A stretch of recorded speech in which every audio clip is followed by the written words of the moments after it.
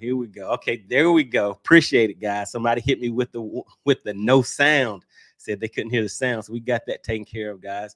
All right, so let's see who we have checking in. We have Mark E. Scott. What is going on? He is a member of the money team. Guys, remember, I told you this week we have something special for the money team. All right, guys. So if you are interested in becoming a member of the money team, make sure you click the join button right down below. It'll just give you a little bit of information about the special perks and things like that that the that the money team gets, you know, along with actually being, you know, kind of standing out in the crowd when it comes to the chats. All right, we have another member of the money team stepping in. What is going on, Jason? Good to see you. Good, good to have you in the comment section. All right, all right. So we see I see some people coming in here. It looks like you guys want to find out about these jigs. yeah, you want to learn a bit, a little bit of something about how to get out here and catch these big bass. All right, so let's see. Let me just go in here and just check out who we have coming into the chat. All right, and if you could, guys, just hit me with a one real quick. I just want to make sure you guys can hear me because I did see that I was muted right at the beginning. But you know, sometimes we just struggle streaming a little bit. We'll get things right and get into it. All right, so yeah, in the chat, just hit me with the one. Just want to make sure everybody can hear me okay and see me okay. All right, looking good, looking good. All right, guys. So for tonight, we got a special guest. Gonna be bringing him up in just a second because, I mean, I know you guys want to get out here and see what's going on with these jigs. I mean, we're gonna get into it, kind of deep into it, guys. Maybe we'll go over some things that you haven't heard before maybe there will be some things that you have heard before and you want to throw a little bit of input on that. So, as always, I will drop the link if any of you guys want to come up, ask some questions and things like that. Once we kind of go over a little bit of the topics and things like that, then I'll bring a few of you up. Maybe you can ask a question too. And also, don't forget we're going to do the how would you fish it segment. It's kind of like a special edition. I'm going to do that one a little different this time. See how you guys like that. All right, so let's go ahead and get into it, guys. Let's see who we have joining into the live stream tonight. So we have somebody that was a little early. Somebody was early this time. We have my opinion. He said Hawk is going to be in there talking about he could just look at the laydowns and feel there was a bass in there okay, yeah. I mean, you know, Chicken Hawk, he says he has those old time skills. So that's what he's talking about right there. He doesn't need any electronics. But hey, man, I'm gonna put those electronics on my boat and get out there and put in some work. All right, let's see what else my opinion has to say. He says, I sure hope nobody starts talking about fishing a jig with a 15 foot cane pole with a 12 what is that 12 foot of line on it uh-oh that's a little bit dipping into the last live stream guys. You know we were kind of going at it. We were having a good time talking about some old school fishing fishing versus some new school fishing all that good kind of stuff. All right delta bass is in the live stream. He says cane pole that would be funny. There we go. All right then like i said we have mark scott checking in member of the money team. Darren pearson is in the live stream. What's going on dp glad you made it back. All right, let's see who is this we have here checking in. We have Michael with high tech redneck fishing. what is going on with that, Michael? Now let's see. Now is this the 10, 12, and 13 pound Michael? You just changed your um changed your uh your icon. Maybe that's the same Michael. Is it? Just let me know. All right, then we have Cajun Rob checking in. What is going on, Cajun Rob? All right, down there putting in some work. Uh-oh, guys, look who we have here. Ah, we have Mako Mills. Here we go. Let's go. All right. So Mako Mills, special shout out to him. He is the one that kind of put this together for you guys. So as you get out there and you start tossing these jigs around and bringing in those twos, threes, fours, five, six, and seven pounders this year, you know, you might want to think about Mako. He's the one who kind of put this in, in, in effect for us. All right, then we have Jason. All right, gave you a shout out member of the money team. And real quick, if you guys are interested in becoming a member of the money team or just finding out some of those perks to come along with it, click that join button. It'll give you some quick info. And hey, we'll see. And also, as a reminder, guys, the people that are members of the money team, I have some, you know, I, have been telling you we have some special perks coming up for you. So when we get into this jig fishing, you know, uh, I, I, have a few things that I need to uh, bring to your attention. But also, anybody that is a member of the money team, put in the comments do any of you guys fish jigs and if you do let me know do you fish shallow offshore um, you know i'm just getting some info but there's a reason behind that but yeah go ahead and get active down in the comments guys let's see who else we have in here we have hudson logan fishing What is going on? What's going on? Yeah, I think you reached out to me on Instagram um, a week or two back. All right, Hudson Logan Fishing says, Hey, Money Bass. All right, Cajun Rob says, Jigs are money. That is right. Jigs are going to catch those big fish for you guys. Those are some tournament winning fish. All right, Delta Bass had you guys hit me up with the one. Let me know everything is looking good, sounding good. All right, you guys are definitely getting active in the chat. So, as I always say, if you guys are active in the chat, it makes for a great live stream. And also, what we talk a lot about on this channel is your electronics. I'm running Humminbird. Um, let me see. I have the Mega 360, Mega Live. I do not have the Target Lock, but there are some guys in the subscribe in the chat, my subscribers, people that do have all of those systems, and they also have Garmin. There are guys with Live Scope. So if you're running to, into any issues with your electronics, always feel free to put whatever type of issue that you are having in the comment section. If I can't answer that question, there will definitely be somebody in there that can help you out. We've had several guys that have come along having some issues by the end of the live stream. They had the answers to their questions and they hit me up later on and let me know that everything work, was working fine. So the information did help them out. So keep that in mind, guys. We are here to help. We are here to help each other out, not only on the water, off the water with your electronics questions and all that good kind of stuff. And also, when the tournament season kicks in, we're going to be coming back. We need to see some bragging going on in here. We need to see some checks being cast in first, second, third places, guys. All right, so let's see who else we have in here. We have Jermaine Roach says, Jig, we let me see, we will be here this time next year. I hate a what is what is going on with that? Come on, man. You said jig, we will be here to this time next year. I hate a jig. Hopefully, someone can give me a change of heart on here. Uh oh, uh oh, guys. Yeah, I mean, come on, Jermaine. Let me see. What is your PB, Jermaine? Go ahead and drop that in the comments. I want to know what your PB is. We're going to work on this jig for you this year. Uh oh, guys, we have somebody else coming back. We have Sonar 5 checking in on the live stream. Evening money. Nothing better than getting a little jiggy. There we go. That's right, getting a little jiggy with it. All right. Then we have Michael. Let's see. Michael with the high tech redneck fishing. He says, Yes. I can't remember what the question was. Oh, okay. Yeah. So this is 10, 10, and 13 pound Mike. He's out there catching those big fish. Had to change his icon. Look at that, guys. He had to put one of those 10 pounders. Maybe that's that 13 that he's holding up right there. So he had to change his logo to let us know what he what's really going on out there on the lake. He said, This is Michael who caught the three big bass last week. There we go. There we that's what I thought. All right, then we have Delta Bass says, I love Jiz. Got three Plano edge boxes boxes, football structure, and swim jigs. Hey guys, now notice what he said, those Plano boxes. Do you keep those jigs and your other lures in the waterproof Plano boxes? Now, I hope hopefully you're not keeping them in the ones that'll sit there and, and, gather that moisture and stuff. And that is something that I wanted to show you guys. This is the type of uh, box that I keep my jigs in, and also my crankbaits, my other lures. I had to change everything over from just the plain boxes that are not waterproof. Once that water gets in there and starts rusting out those lures, especially the ones that you have your trailers and everything already set in, man, that will be a bad day. So, guys, in the description. I have links in there. I always tell you guys if I run across any deals, any discounts, anything like that, I always put those in the description of the videos. Just go down there. Right now, we have a there's a link in there for 10% off of Tackle Warehouse gift cards and also a few other links for some products that we will be talking about. And I did put a link in there for these Plano boxes um, they actually have those on discount right now. So definitely make sure you guys get those. You do not want to look look into that tackle box and see a bus a bunch of rusted uh, hooks and jigs and things like that. So that's that's a good uh good comment right there. Delta Bass says, I love jigs. He has three Plano edge boxes full of football structure and swim jigs. There you go. All right. Red Boat says the door is open. I'm in. All right. What is going on? Red Boat checking in he makes his own jigs. All right, all right. So we might have somebody that can add a little something to the to the live stream. There we go. All right. So then we have Daisy Easy D Maddox. He says, evening money fishing Lake Lanier again Thursday. What is going on with that?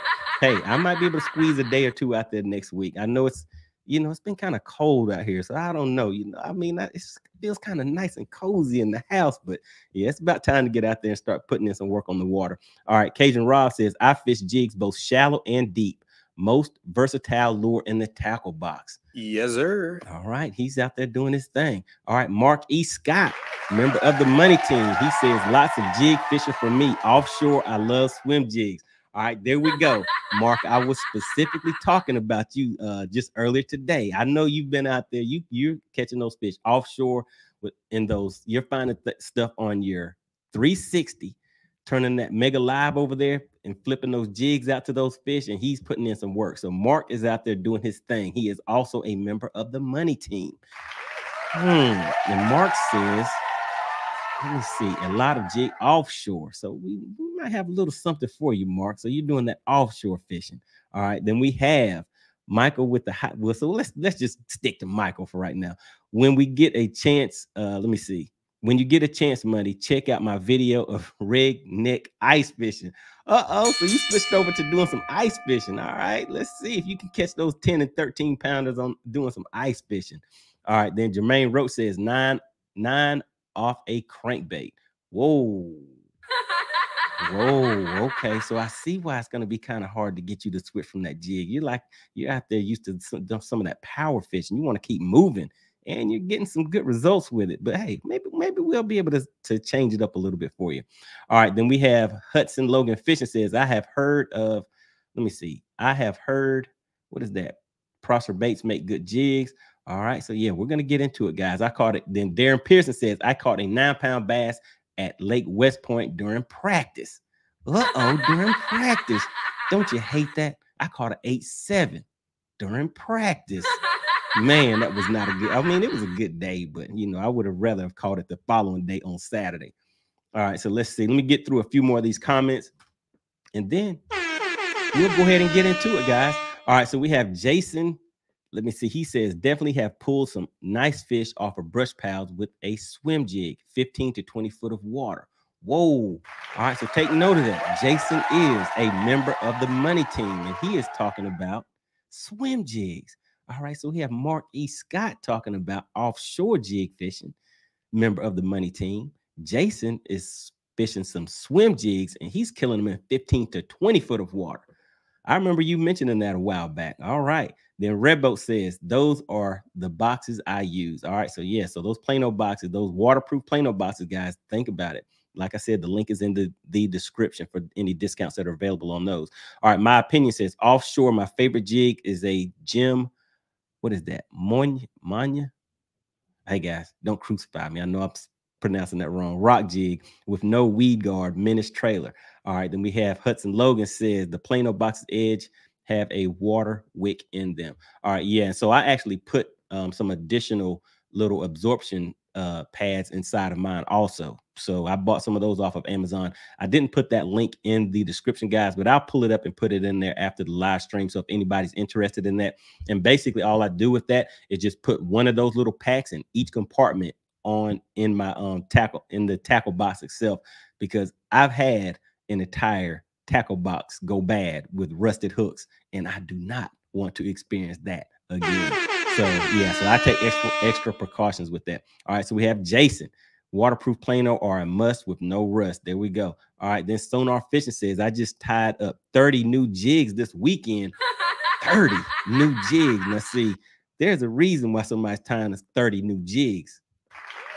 He knows what he's doing if those jigs are getting broke off every once in a while, then hey, you're you're fishing them right. So yeah, sometimes if you're if you're that jig man, you're gonna need some extra jigs. You don't want to just go out there with one or two of your favorite jigs and think you're gonna have a good day. If you're having a good day, they they will eventually get broke off. All right, so we have Vernon Neal says, My man, I'm tuning in. Love me some jig fishing. It's hard to put the jig rod down sometimes. That is right. Once you get into it.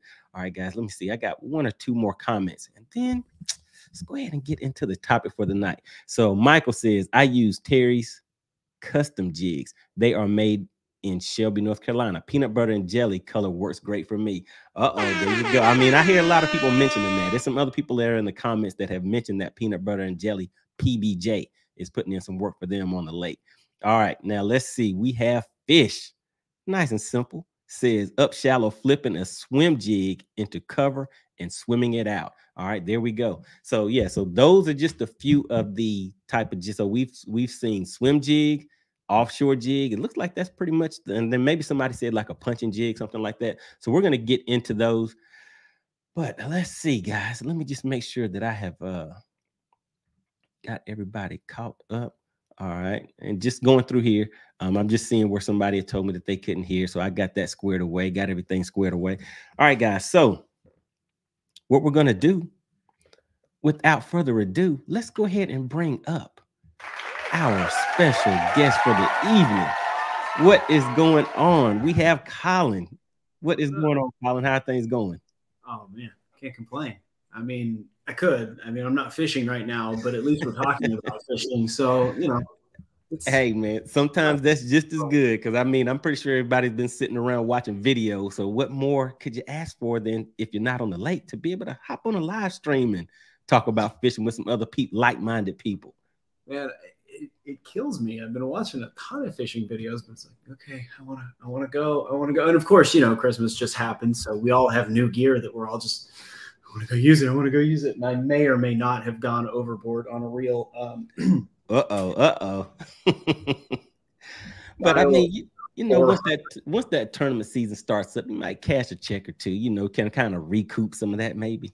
I mean, it's not even so much the price that I went overboard on; it was the size. Um, so, Whoa, despite, okay. despite being being a jig guy, and that's you know my big thing uh, I do use swim baits, and I oh okay. I need, to, I need, to, go get a big reel, and it was bigger than I thought, but I'm happy with it. So, gotcha. But all right, all right. So let's go ahead and get into it. Just kind of introduce yourself and tell people about your, you know, about your, you know, what you do with these jigs and everything. Everybody's wanting to know who is Colin. Let's go ahead and get into it. So, uh, my name's Colin Shore. I'm in Nashville, Tennessee now. Uh, grew up in Pennsylvania, so started fishing up north, had to adjust massively to fish in the south. Uh, jigs were honestly growing up not anything that I ever used. Uh, it was a few years ago I decided, you know what, I really want to give this thing a shot. And I didn't know what to do. I didn't know what I was doing, where I was going. I got online and tried to find all the information I could, but realistically, you're only going to find so much and you're going to find the same thing over and over and over and over again. You're not going to find here's the secret to jig fishing. Here's how you actually catch jig or how you catch fish on a jig. And so I was like, I'm going to give this a shot. And I'm impatient. I have ADHD, so I want to go, go, go, go. Power fishing, I love. Right. Uh, not so much anymore. It's it's gone the other direction. But that was that was what I did. And I was throwing a jig around one day. It was middle of the afternoon. I'd been using a buzz bait all day. I had had a massive day, just a ton of fish, some decent ones, nothing of any real size, but it was that midsummer, middle of Tennessee, hot. It's like, all right, I'm looking at my watch, like maybe I ought to go home. Sitting in two and a half feet of water, maybe on my kayak back up off of a, you know, an offshoot on a lake. I could see just this much of a brush pile sticking out and tossed a black and blue jig at it Okay. And I'm like, oh man, I got hung up. I didn't get hung up. Um, and it was the first real jig fish that I ever caught. All One, right. Three that I ever caught, and it was six and a half. And so from that forward, I was like, okay, there's something to this. Started using it more and more mm. and decided, you know, I'm not digging what I'm finding in the stores. Uh, for, for a multitude of reasons. You know, I'm, I'm paying, you know, X amount of dollars for this jig that – there's not really a lot of time and effort put into necessarily. You know, a green pump, oh, let's so throw some green and brown together and that's perfect. Okay, technically, yes, but you know, there's a lot more to it. You can add a lot more depth to green pumpkin than just that. And I got really annoyed because I would go look at all of these and it's like this looks almost cartoonish. You know, some right.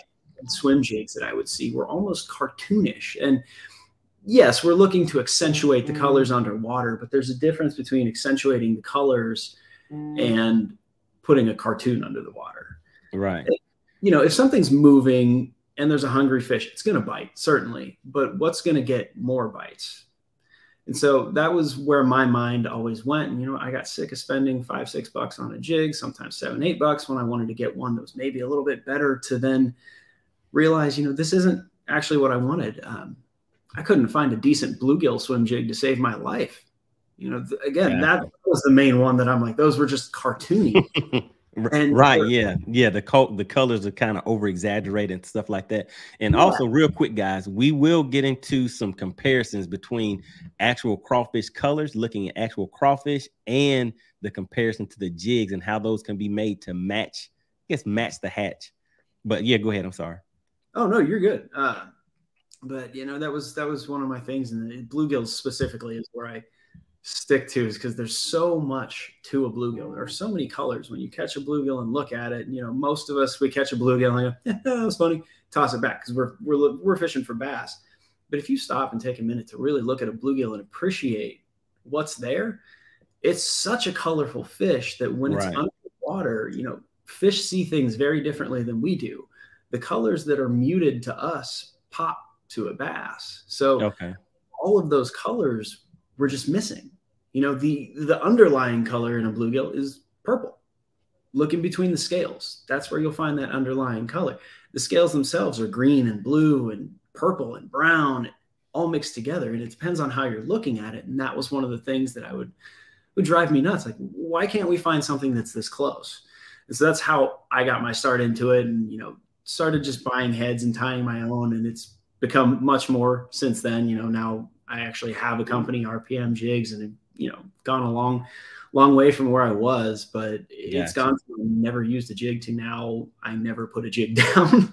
right. Uh, okay, and so your company RPM Jigs, so you pretty much make custom jigs.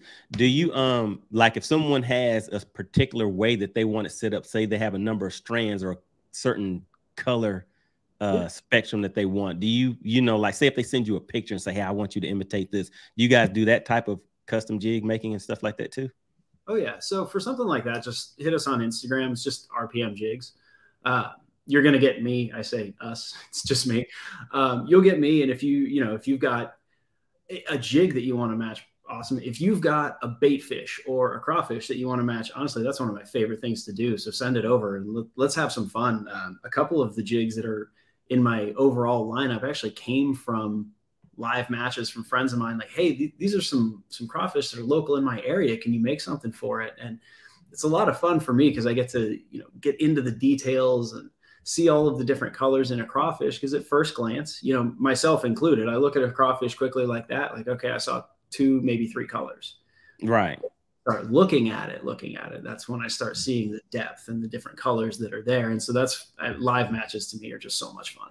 Gotcha. Okay. Yeah, and I see a few guys with some comments down here in the in the comment section. Let me go ahead and, and just see if we can get caught up on these real quick so I don't get too far behind. And then we'll just hop into a few questions so we can get into it and kind of go through a step by step process because we have guys, of course, that are looking at it from the expert point of view. I mean, they've been fishing jigs and they're going to say, well, hey, that's not how I do mine. And I fish mine this way, all that kind of stuff, all the way to people who um, you saw somebody earlier. I mean, he's out there catching nine pounders, but he's not a jig fisherman. So we're going to go uh, from, from some of the basics um, that will kind of help guys out, and then we'll kind of advance from there. So just kind of um, go through things in that um, kind of order for people. But let me just check out a few of these comments real quick just to see where I left off, just to see if anybody has any questions so far.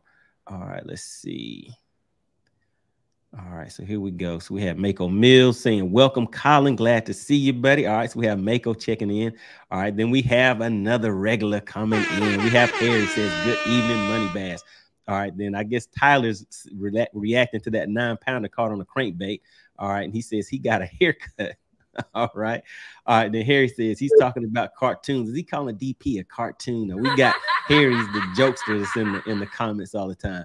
All right. So Fish says, Hey, Colin, RPM jigs. All right. All right. So it looks like somebody knows a little something about some RPM jigs. All right. My opinion says 6th Sense makes a heck of a bluegill jig color. So I yeah, I get can't argue that. They do. Gotcha. All right. So yeah, so you know about those jigs. All right. So Red Redboat says that's why I start making my own jigs. The jigs were costing too much. Right. And so I, I started trying to do that too, guys, but I didn't want to get too much into the lead pouring. So where I stopped at was just making my own jig skirts. But we'll talk about that in just a minute too. All right. So Delta Bass says, yep, purple. Um, yep, purple, that P and P and B and jelly black and blue works here in Mississippi. Yeah, that black and blue is a universal thing. That's kind of like the theme behind the money bass colors, that black and blue. But you know, I had to throw a little green in there, represent a little bit of money that you actually you spend money. you may make a little money, but you're, you're spending a lot of money whenever you're doing out here fishing. All right, so Mako Mills says in 2023, I will use Collins jigs. All right, Mako Mills is coming back on the scene. All right, that is going to be a good, good thing. Good thing. All right, so Team Zipper Lips. Uh oh, look at this, guys. He says, don't forget Randy Blaukat's plain old old school $10 jig. Goodness gracious, $10. Yes, sir. That's, I mean, so I don't know, guys. That sounds a little expensive to me for a jig. I mean, I guess it depends on how you're fishing them and stuff too, because me, I'm throwing mine straight into stuff that I may not get those fish back out. I mean, get the jig back out of sometimes. So if I'm if I know I'm tying on a ten dollar jig, it's gonna make me a little skittish about where I put that thing in. But he says I gotta say that just blew my mind that someone would pay that much for for a rag mop. Ah, come on, man. Come on, man. I mean, people out there to each his own. You got to fish with what you feel confident with. But yeah, I guess I kind of agree with you as far as the price range. And like I said, depending on how you fish it, um, it will make you kind of be hesitant whenever you may need to throw that thing straight into a brush pile or a laydown that you may not get that jig back out of, but you may want that eight, nine, 10 pounder that's, that's in there hiding in that laydown. All right, then Harry says the hawk is an expert. Man, come on, the chicken hawk ain't no jig expert. All right, then Sonar 5 says the only way I fish a jig incorrectly is to keep it dry. There we go. There we go. All right, let me just see how. Okay, we just have a few more in here, and then we'll get into some questions. All right, so Michael says, what type hooks are used on the RPM jig? All right, so we'll get into that in just a second. I'm pretty sure we'll talk about that. All right, Harry says, thanks, Colin, for coming on. How much are your jigs? All right, so we'll get into that too. But again, guys, if you are a member of the money team, might have a little something special coming up for you. All right. And let's see. So Harry also says, thanks, Colin, for coming on. Okay, I already got that one. How much are your jigs? All right. Then Team Zipper Lip says, by the way, guys, thank you so much for taking the time to do this. Keep up the great work. All right. Really, really appreciate that. All right. And okay, we have some guys in there going back and forth a little bit. Delta Bass says, in my opinion, yep, 6th Sense is money. All right. Now, DP, DP is the man. He is the jig man. He says, knows more like cat and mouse. Tom and Jerry, you the mouse. Uh oh. So Harry and, and Darren and they're going going at it already.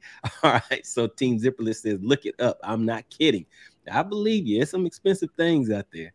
But hey, I mean, I don't know, man. We'll get into it. So Michael says, what style heads are available for RPM jigs? All right, so we'll get into that. Let me got I've got two more in here. All right, guys, we have 362nd Campbell.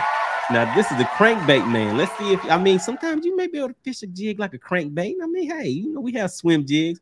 All right, so let's see. He says stopping by to say hi. Can't stick around, but I do like to get jiggy with it. All right, all right, all right. Then we have Double H out Joe outdoors. Uh oh, guys.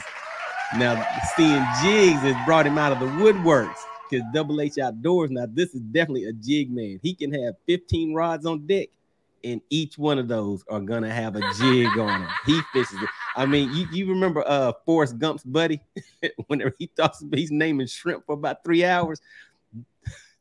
Double H outdoors, he does the same thing. He'll I have a swim jig, I have a deep diving jig, I have a jig, I have a this kind of. I mean, he he'll go through them for you. But he's out there catching some big fish. He was killing them on Guntersville. All right, then we have Zipper Lip says they sold out too. Wow. Whoa, sold out of those $10 jigs. Man. But hey, I mean, his channel, he has a lot of subscribers on his channel. So any product he puts out, people are gonna, you know, they're gonna hop right on it. All right, then Harry says, "Be careful, DP. You might get hit in the top of the head while you're re- while you're reclining. Everyone hit the like button. All right, so yeah, guys, yeah, definitely hit the like button, guys. It really does help the channel. Really appreciate that, Harry. Yeah, hitting the like button, it really does kind of help push it out there. And also, guys, take a second to send the link to this video to some guys that you may know. I mean, I know you're going to be fishing against them, so you may not want them to know this info that we're going to be getting into. But come on, guys, it really does help out, help out the channel. Just shoot out a quick text to your friends, let them know that we are live. If they have questions, comments, anything like that, they can hop into the live stream, and I will also be dropping dropping the link. So if anybody wants to hop up on the panel, you guys can do that too. All right, and then DP. Uh oh, let's see what DP said. Harry, don't get DP started. He says, No, I tie my own jigs. But my question is, do the fish, uh, let me see, a hair jig in the wintertime like a jig on the bottom, or does he hop it? All right, so we're gonna get into some techniques too. All right, so double H outdoors. All right, so he yeah, so he's uh that's the jig man right there. Darren Pearson, you know how I I don't have anything to say to that next question. All right, and two more. We have Team Zipper Lips. I only drag in the wintertime, no hopping. All right, yeah. I mean, sometimes you know people are they'll want to lessen the action of those jigs whenever that water gets colder. All right, have a member of the money team hopping back in. Colin, what is your favorite color for Great Lakes area? Big football smallies. Oh, I've seen Colin holding up a few a few football. I mean, a few of those uh Smallies too, so he knows a little bit about that. So I mean, this is a member of the money team. Let's go ahead and answer his question now. So he says, "What was or is your favorite color for Great Lakes for the Great Lakes area?" Big football, chartreuse hair jigs. Period. Um, if you're if you're chasing smallmouth, it does not matter what time of year, and people may argue with me. That's totally fine. because somebody said it before. The only way you're fishing a jig wrong is keeping it dry, and that is that is all right. The true, honest to goodness, true. Uh, but hair jigs, smallmouth can't stay off of them. And okay, go ahead and hold that up again real quick so we can so we can see that. Yeah. So this this has just got like a casting head on there, Arky style. But here, you know, there's the important thing. You got the hair in there, black and chartreuse. And I have to apologize. This has been sitting in my tackle box for a minute. It's already been wet. So anybody who uses a hair jig knows it's kind of stuck until it hits the water again. Uh, but I do actually throw a trailer on these, and not everybody does. I'll use a very small green pumpkin trailer. I know it seems very strange with a black and chartreuse bait. I will take that out onto a river a lake, doesn't matter where. If there are smallmouth, I'll weed out the largemouth and just crush the smallmouth. And with mm. Great Lakes, big smallmouth out there, big smallmouth. And I'm, I'm not sure what depth you're in. Uh, just as you use a hair jig, keep in mind that it's going to rocket through the water a lot faster than a standard silicone skirt jig will. That silicone slows it down, so you have that nice slow drop. So if you use a half ounce hair jig, there, there's no action on the drop just know that it's just straight down. Think yeah. about using a slightly lighter jig than you would normally use and let that hair do all the work. Maybe give it yeah. a few pops every now and then, but smallmouth can't stay off of it. I mean, all of my biggest smallmouth, and I, I sent you a couple pictures, they've all come off right. of those hair jigs. Like, I mean, you can use a myriad of things to catch smallmouth, and you know, yeah, smaller profile baits may work. However, big jigs work too.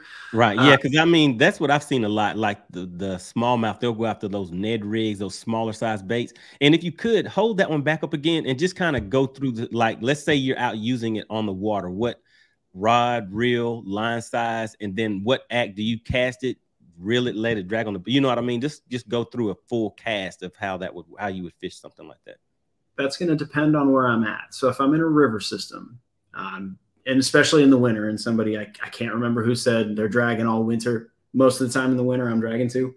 Um, if I can find a river with a nice slow flow, and right here locally, I've got the Cumberland River and the Harpeth River, the two that come to mind for smallmouth. I'll just drag as my boat goes, give it a few pops every now and then, but I'm talking along big, you know, ledges, drop offs, everything like that. I'm not just floating out in the middle of the river going wee and hoping something finds it. I am targeting yeah. doing, but a slow drag and letting the hair do the work. Um, that that's one of the one of the amazing things about a hair jig is how little you have to do. This will look like something truly alive and moving, and so you can kind of see everything in there. When that's underwater, yeah. all of this just every bit of water movement makes this move back and forth, up and down. You really don't have to do much. And that's part of the reason that it sticks out to smallmouth. I wish I knew the reason, but smallmouth and chartreuse go together like that. Gotcha. And then so how do you go about making those? Like what material is that? This one, this is actually artificial hair. It depends on what I'm using. I use a lot of buck, uh, bucktail. Okay, uh, gotcha. If I'm doing something like that, I'll use marabou, which is more feathers.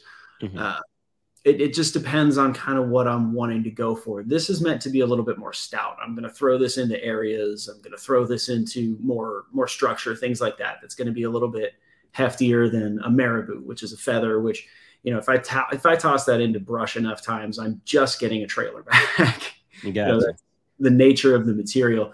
Buckskin, I'm using or buckskin, uh, bucktail. I'm using when you know the water's a little bit quicker. It's a it's a stiffer hair so down below a dam and a spillway, uh, if you're chasing striper or something like that, perfect time yeah. to throw and just let it hop along. Okay, so you're actually throwing because I know some people they'll throw throw out their their hair jigs and they'll fish it like a like a um like a bait fish. They'll reel it fast, let it fall back down to the bottom. So with this type of setup, you're using this one to just kind of just inching it along the bottom, fishing it more tr- like how we would traditionally fish a, what we call a jig. What we right. think of. Okay this would be more for your craw than you know than the and bucktail is how I would I would fish it more that way. Gotcha. Because that is the white and the red, and it's looking like a bleeding bait fish. And so that's when I would I might throw a trailer on if I do. It's just going to be a fluke. Uh, and then I'll work it like that sort of a bait fish. But for, okay. for these, I'm going slow on the bottom. So with that one right there, with that black and chartreuse, you would you that, that one you would put what type of trailer on there? I actually have one sitting right here. And so I normally will throw eighth to a quarter ounce football through the winter with these. And this okay. is the trailer that I use. It's just the little NetBait Paca Chunk. Okay, gotcha. The mini one. And it's perfect. All you're seeing come out are the claws. It's the perfect little compact presentation to go after a smallmouth with something that's going to stick out to them. Not saying you won't catch largemouth on it. You definitely will. I've caught plenty of big largemouth on a black and chartreuse hair jig, but gotcha. I've certainly caught more smallmouth on it than anything else. Okay. All right. Hey, sounds good. All right. So Jason says very informative. All right. So Jason, you have to come back and give us some results now. Jason is a member of the money team. So Jason, in the comments, let us what what particular style of fishing do you normally do? So you had the the question was what was the lake that he mentioned in there? Let me just um, Great Lakes. I don't I don't know. right. Yeah, so Great Lakes, and so normally, I mean, when I hear that, I'm thinking offshore, definitely. So, what what uh, depth of water do you normally fish? And obviously, it looks like you're going after smallie. So, that's what you said. Big football smallies is what you'll be targeting. All right. So that just kind of gives us a say that again. I'm, I'm guessing that's pretty deep or deep. Great Lakes area, smallmouth, using a heavy football. I'm guessing he's probably 30 plus feet. Um, gotcha. and I would still do the same thing, but in that case, I would use like a half ounce and let it rocket through because realistically, I mean, it's going to take you 10 minutes to get to the bottom otherwise. Um, yeah. But put it out there where you know they are. Okay. All right. Gotcha. And what is your um like if someone wanted to reach out to you to you know to to get any of these the uh products that you're going to be showing like specifically that jig because showing that one that's something that kind of looks unique i mean i'm not a i don't fish the great lakes but to me if i saw that and listening to how you're saying i'd definitely be wanting something like that to try out you know what i mean yeah, so how would so, they re- how would they find out about your products and stuff like that? Normally, I'd send you to uh, normally I'd send you to the website. However, we're under construction. Uh, I can still send you to the website. Just know that it's not going to have everything. It's not very user friendly. We should have the new website up and running January 1st. But until then, um, feel free to just message me on Instagram. Okay. And what's your Instagram? It's just at RPM Jigs at RPM Jigs. All right, there you go, guys. At RPM Jigs. I know somebody was asking that question in the comment section, so I just wanted to make sure I answered that for them. All right, so man, I see a few more guys. It's rpmjigs.com. I'm not going to lie to you. It's not user friendly because I am not very technically inclined. Gotcha. Uh, I do have somebody who is helping me with all of that right now. Um, he's actually he he's on. He commented earlier. Uh, he's the one that uh, said I got. Oh, gotcha. okay, gotcha, gotcha. Back from Pennsylvania soon. Uh, All right. But okay. uh, we should have that up and running soon. But feel free to go to the website until then. Um, but like I said, it's not going to be as robust. Certainly going to have more colors available. If you go to Instagram, you'll see more of what I have available. And then, you know, if there's anything that I don't have and you want to see, just let me know. There's a good chance I have it. I have probably five or 600 jigs just littering my office. I may or may not have been taking pictures today. All right, uh, and I'm just gonna zoom because this, um, if you want to jot this, I mean, you already may have already planned to answer some of these, but I just want to say this real quick. So, some uh, team Zipperlip says, "Do you use silicone or living rubber?" Um, Sonar Five says silicone, round or flat. And let's see who else we have. Fish says, Colin, tell Alex someone wants more swim jigs. All right, let me see. Yeah, they're coming. All right, then double H, out, double H outdoors. Let me see. Stroke that three quarter ounce. So he's offshore. All right. uh oh. Uh oh. All right. Team Zipper Lips at Sonar Five. Great minds think alike. All right. Harry says favorite color for the Tennessee chain of lakes. All right. Easy. So, uh oh. Wow. Now that one. I won a tournament on Chickamauga with this color. Not a single fish came on anything else for me.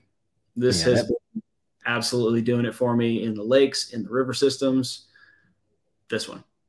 All right. So you know how some things are made to catch fishermen? now that color right there looks nice. Now I can see how that can catch some fishermen, but I mean, you're saying you're getting results on it too. So I mean, what what color trailer would you pair that up with? So and and this is where you know the this is all designed to catch fishermen comes in. So I'm going to run one or two, one of two trailers on this color wise. I mean, stylistically, I may use a myriad of different trailers depending on, you know, what's going on. Green pumpkin, always a good choice. I mean, green pumpkin takes on the color of whatever's around it. And that's, that's the thing. You don't need a million different trailers in your bag. Gotcha. Can you hold that one? Can you hold that? Well, that one that you just held up hold that one, that other one, the one you just put down. Hold that one up next to the uh, the jig that you were just talking about from Chickamauga. So this would be a perfect match. There we go. Yeah, there we go. That's, that's the Alabama craw. Now I will say this: I fished Chickamauga. I had this trailer. I had this trailer. This is the one. All right. Crazy oh, thing. okay, gotcha. You would think perfect match, right? right. It's the green pumpkin that did it for me. Uh, and it's wild because you know that other trailer does it matches it perfectly. I was so excited to buy them because first off, I love that style trailer, and they had it in the color that matches my favorite jig. Done. What kind of jig head was on that that uh the jig you just held up? Was that so an this, Arky head jig on there? Because I mean, I mean, it looks like a. So that one is a uh, sort of a hybrid, I guess. Uh, it can be used as one of two things. It can either be a swim jig, it can be used as a uh, flipping jig. Anything. Okay. Hold it a little closer to the camera again, because yeah, that one is a little different. Yeah, and turn it sideways. Okay, okay, I see what you did. Okay, I see what you did on that one. So I leave the eyes off that one, and reason being, those two jigs are very similar stylistically with that point, so they can get down through everything while I do have, you know, those themselves, I personally I use swim jigs to flip with a lot or punch when I'm not like punching through mats. I'm usually using a, uh, punch rig and I'll use this and then you know have a, you know four aught five aught EWG hook on the end of it to get through the heavier mats. Um, but and and I'm glad somebody earlier on said that they love swimming swim jigs through brush and things like that. Right. So big, so huge. How many times, you know, have, have you had a swim jig pop off of a branch and just get crushed, bringing it through some brush that the other five people you're fishing with, they wouldn't even touch it. They would never think about throwing something in there. in reality, there's a 10 pounder down there somewhere. And if you don't right. throw brush, it's not coming for you. Gotcha. Hey, I mean, you have to make it happen. That's why Sonar Five was saying he tied on 30. He said he got 30 ready. I mean, right. I have I have at any point in time, I've got hundred plus jigs on the boat. Gotcha. Just because you know, if if I get hung up in a spot that looks really, really juicy, I don't want to go over there and mess up the spot. Right. Especially exactly. I know there's fish there. I know they're biting, and I know there's a few more there that I can pull out. I'll try everything to get my jig back. And it's a little different for me that I, you know, being that I make them. However, I would rather pop that off and get that fish that's been hanging down there. Right. Yeah, definitely. All right. So let me let me just uh check one or two more questions real quick. All right. So Jason did reply, says 20 to 25 foot of water is what he's fishing out there. I usually use black and blue PB and J and white with char chartreuse. Black and chartreuse is probably the ticket for sure. All right. So that's he was talking about the uh, the Great Lakes. All right, then Joseph. All right, we have another member of the money team checking in. All right, so finally got the chat up. Great coverage, hard to beat, hand tied. All right, so your so how yeah, how do you go about? Well, actually, hold on, let me just because I keep. I mean, we have some good questions, man. It's kind of hard to to stay on track. Been right, writing so, down and hit them, hit them as we as we come back to. All right, right, okay. Let me just look through here real quick. I just want to definitely make sure I pulled up the money team guys, and then a few other people had some questions. Let's see. Okay, yeah, they're kind of chatting in there. Um, all right, so let let me just let's go ahead and get into a few uh questions, and then we can kind of go back and forth in the chat again real quick. Hold on one second. Let me just pull this up. All right, so let's go ahead and get into a few questions that I mean, some of the guys that have been fishing for a while, they may have these same questions, but definitely this will help out people that are just looking into getting into jig fishing. Um, for me, I would say jig fishing for somebody that's just getting into it, it will help you be known as the person that catches big fish. You may not catch a lot of numbers. In some instances, you can, but you would definitely be known as that person to look out for whenever you show up on the scene and people are like, Well, what's your favorite type of fishing? Somebody may say crankbait. Somebody says, You know, hey, I like to drag a Carolina rig. If somebody says they fish a jig, they may not say something right offhand, but they're going to remember that. They're going to say, Hey, I got to look out for that person right there. So um, let's just start off talking about this. What are the different types of jigs and when to use them? And just kind of show some examples. I know you had a few different jig heads. So what are the different types of jigs and when to use them? So there are so many different types of jigs out there that I could get lost on that for hours. So gotcha. Break it down to like the main seven or eight styles that you're exactly to, um, along the way. Um, and it's a you know what I'm I'm going to go backwards from where I'd kind of started because this is really where I should start. I'm going to start with the ball head. I'm going to start with the jig that made it all happen. This is, you know, your standard head, ball head. That's what your dad fished. That's what your granddad fished. That's what somebody years ago went, oh, this split shot, I bet we could just put it right on the end of this hook. And I should really look up the uh, history on that because I wonder if that's actually what happened. And if it is, I doubt anybody's going to admit to that. But that's what I want to know. Um, anyway, it's ballhead is a versatile jig. It's versatile because it was never geared to be anything specific. It was just to get something to the bottom. You can use this through structure. You can use it through brush. You can use it shallow. You can use it deep. There are so many applications for this jig because it was just what it was originally meant to be. I personally, I will throw this anywhere. I I have them all the way from I think down to an eighth of an ounce through a full ounce that are in my box because I can use them anywhere that I go. You know, and yeah, people see this and think like, oh, well, that's just a ball head. That's just this. That's just that. Because we've gotten so many different styles of jigs that have come around through the years that it's just boring, right? You know, oh, the ball head jig, it's just boring. When when in actuality, this is this is a killer in your arsenal.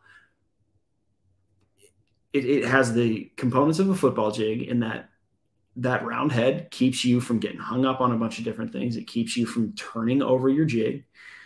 You can swim it through the water. This isn't going to cause you a whole bunch of drag like you would see from an arky head or you know a punch head. It's going to come through the water. Not as easily as a swim head of course because that's meant to come through the water that way but it'll swim. It'll do anything you want. It'll give you those long drags on the bottom. It'll give you hops. It'll give you big rip let it drop down. There are so many applications for this one. I mean it, it covers everything but it's missed a lot simply because oh it's old school. Gotcha. So as far as the type of structure that you would uh fish that uh football head is that the football head or is that just the regular no, this, is, this is just the round head. Oh gotcha. Okay. So that round head. Okay. So that one's kind of just the it's, i guess a universal type. It's not a yeah. specific like when you get into specifics. Okay. I got you i got you So wanted to start with that one because it is a really good overall. And if any of you guys, you know, have something specific that you use a ball head for, I'd love to know. You know, I'm I make jigs. I'm not going to sit here and tell you, oh, I know everything. I'm perfect. You can't be any better than me. I, am not foolish enough to think that. So if right. anybody has, you know, an application for a ball jig that they've come across somewhere along the way, I would love to hear it. I mean, just let me know because yeah. And so for me, uh, one of the main techniques that I use is throwing my shaky head. I mean, in my videos, the majority of the fish that the guys see me catching are going to be on a on a shaky head, depending on the lake that I'm on and what I'm targeting. But a lot of times I'm going to have that shaky head ready, and the uh, it has a long shank hook on it. I can't remember the exact uh, manufacturer of the ones that I use, but it has a very long shank hook on it. And I've tried some different. I've actually tried to tie a jig using my shaky head jig before because my hookup ratio is just it's great with those. Once I get a fish on that, I mean, I'm flipping out just about all of them unless they're too big. You know what I mean? Because I'm not worried about those fish coming off once I get that that hook set in them.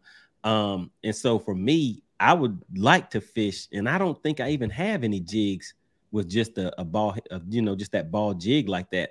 But um, yeah, I mean, that would be something that I'd be interested in seeing more of. And then especially if you could do those with that long shank hook. So maybe that's something I'll I'll shoot a picture of it to to you and then you know we can get into that. All right. So you said the ball head jig, that was your the first the first one. And then what else do you have? So uh, I'm not really going in any particular order here, right. like of importance, just kind of walking through each one. Bladed, you know, pops up next you know, I mean, everybody has a bladed jig in their tackle box somewhere along the way. Everybody has a chatterbait. Everybody may or may not have a jackhammer, sixteen dollars a pop. Who knows? Uh, but uh, I mean, I will fish a chatterbait through the summertime at night, all night. Gotcha. I mean, the big thing that this does that you know you're not going to get from a swim jig is the vibrations that it puts out. You can get this out there and draw fish in from 50 feet away just by hearing the vibration, by what's going on, you know, in, under the water.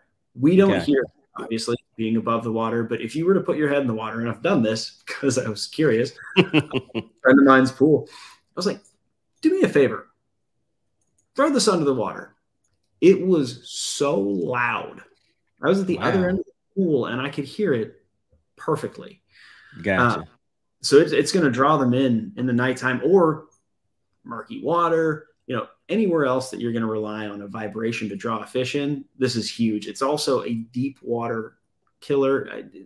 Anywhere that you're going to throw, you know, something that has a tight action, lipless, anything like that. Okay. Another incredible option.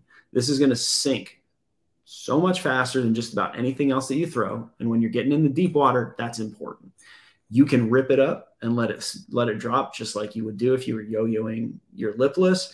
You can pull it through. You can drag it along the bottom. You can hop okay. it. You can work this any way you want. There are so many different retrieves that can be done with this that you don't really think about because oftentimes when you're looking at one of these, it's like, oh, okay, so I swim that, right? I mean, right. and then pause it, or you know, maybe I'll pop it a little bit here and there. When in reality, you can run it just like you would this jig right here, sitting on the bottom, popping it, and this blade is going to make it 10 times louder. And you're still able to give them that presentation that isn't moving because you never know what a fish is going to want. They may need that loud noise mm-hmm. without the action. They may not be a reaction fish. They may not be in the spot that they want to move, especially this time of year. I mean, I know when I'm outside, I don't want to move. It's cold. Right. yeah. And the other thing with those, I've actually used those skipping docks before because they skip real, they skip very well under docks. So, so yeah, so that's another thing with that swim jig. All right, so we have the ball jig, the swim jig, and what else you got? Oh man, we got swim. Oh yeah, we talked about swim. We got football. Football's a good one. So um, wait a second. So the swim jig, we didn't do that one yet. We didn't talk about the swim. Let's let's hit the swim jig. So swim jigs you can use a million different ways. Uh, the the biggest way that everybody sees them used is cast and retrieve, cast and retrieve, right. and retrieve. Great way to use them. They are a phenomenal search bait. If you're out there and you know just trying to figure out where the fish are, if you're in a tournament trying to put together a pattern and you just need to figure out where they are, right here, You can burn this through anything. A lot of people just want to cast it in open water or cast it in safe places or right. you know in springtime, like, oh, let me bust beds with it. That's all well and good. but again, and I can't remember who it was that said it, this is dangerous in structure. This is dangerous under a dock. This is dangerous in any place that you would maybe lose it. This right here is huge. I'm pushing right here, and the amount that it's taking to move that just that much is a lot. Now, when your fish is hitting it, it's hitting there, so it's able to push that down. Right. But that's stout weed guard, and most jigs are going to have a stout enough weed guard for you to be able to put it in those places that you might not get something else back from. That's why these are huge. You can use them open water, put them under docks, put them in structure, put them anywhere that you want. And there's not just one way to retrieve it. Retrieve it straight. That's a that's a great way to do it. If I'm retrieving it straight, I'm throwing it with a paddle tail all day long. Gotcha. Okay. If I'm if I'm looking to, you know, bounce it off the bottom like a bait fish that's feeding, I'll probably throw like a a bug on it rigged sideways something like that. Um, you can also, you know, rig it up with a bug like that and just kind of bounce it as it swims through the water, and it looks like okay. a nice bait fish. There's more to be done with a swim jig than just cast and retrieve, cast and retrieve. Right. Okay. All right. So we got the swim jig, the ball jig. What was the other one that we did? The the um bladed bladed jig. Okay. So what else we got? What else are we looking at? We got footballs, another another good one that um, you know a lot of people don't really understand you know what's the best way to use a football there's there's a million ways to use it just like there's a million ways to use any jig. There's no wrong way there's no right way. There are more effective ways. The uh, reason the football jig is so effective is that head. That head as it comes through the water it keeps that jig from turning over. It keeps your your whole thing your whole presentation from going the wrong way because generally speaking where are you throwing a football? In the rocks. Right. The rocks, and you're like, oh, I've got this swim jig on, tied on. Forget that. Let me put this football on and drag it through the rocks. It's that's where it excels, truly. You can use it anywhere, just like any jig. Any jig can be used for any application. It's all about how you use it. Certain ones right. are more effective than others. This will have much less a chance of getting hung up in those rocks. The smooth sides right there keep it from getting hung in crevices. You know, it lets it pop out in different places. That's why when you're using a football jig and you feel like, oh, I'm hung up on something, give it a good little pop. Don't don't bow and arrow it yet. Give it a good pop because there's a good chance it's just going to rip right out of the corner there because this is probably what's stuck. Yeah, and so hold that one ne- right next to that uh, round, the round one, and just put them closer to the camera, just so the guys can see the difference between those two. That, mm-hmm. that yeah, that first one, that round head jig. Yeah. Yeah, there you go. So yeah, so basically that football, it looks like a football. It has a nice oval shape to it, guys. yeah. And and you know, you see a lot of different people that are coming out with different, you know, football head styles and everything. Think think about the reason for a football head. Think about why you know we use them think about when we use them where we use them and then think about the different things that you're seeing people put into the design of a football head. You're giving it more cracks and crevices you're making it get stuck instead of the reason for a football jig. Right. However there's one that i've seen and uh, you know it's it's taken me a while to go all right fine i'll give them credit. Um, Beast Coast has a football jig that I actually like that's outside of the standard. Uh, it's the dozer, and the reason I like it, one of the you know one of the best retrieves for a football jig is just drag it along the bottom. Right, exactly. As, as it drags along the bottom, you know, you're you're crawling along the way there. You've got your trailer here. When you look at a crawfish, naturally they're just crawling along. They're not.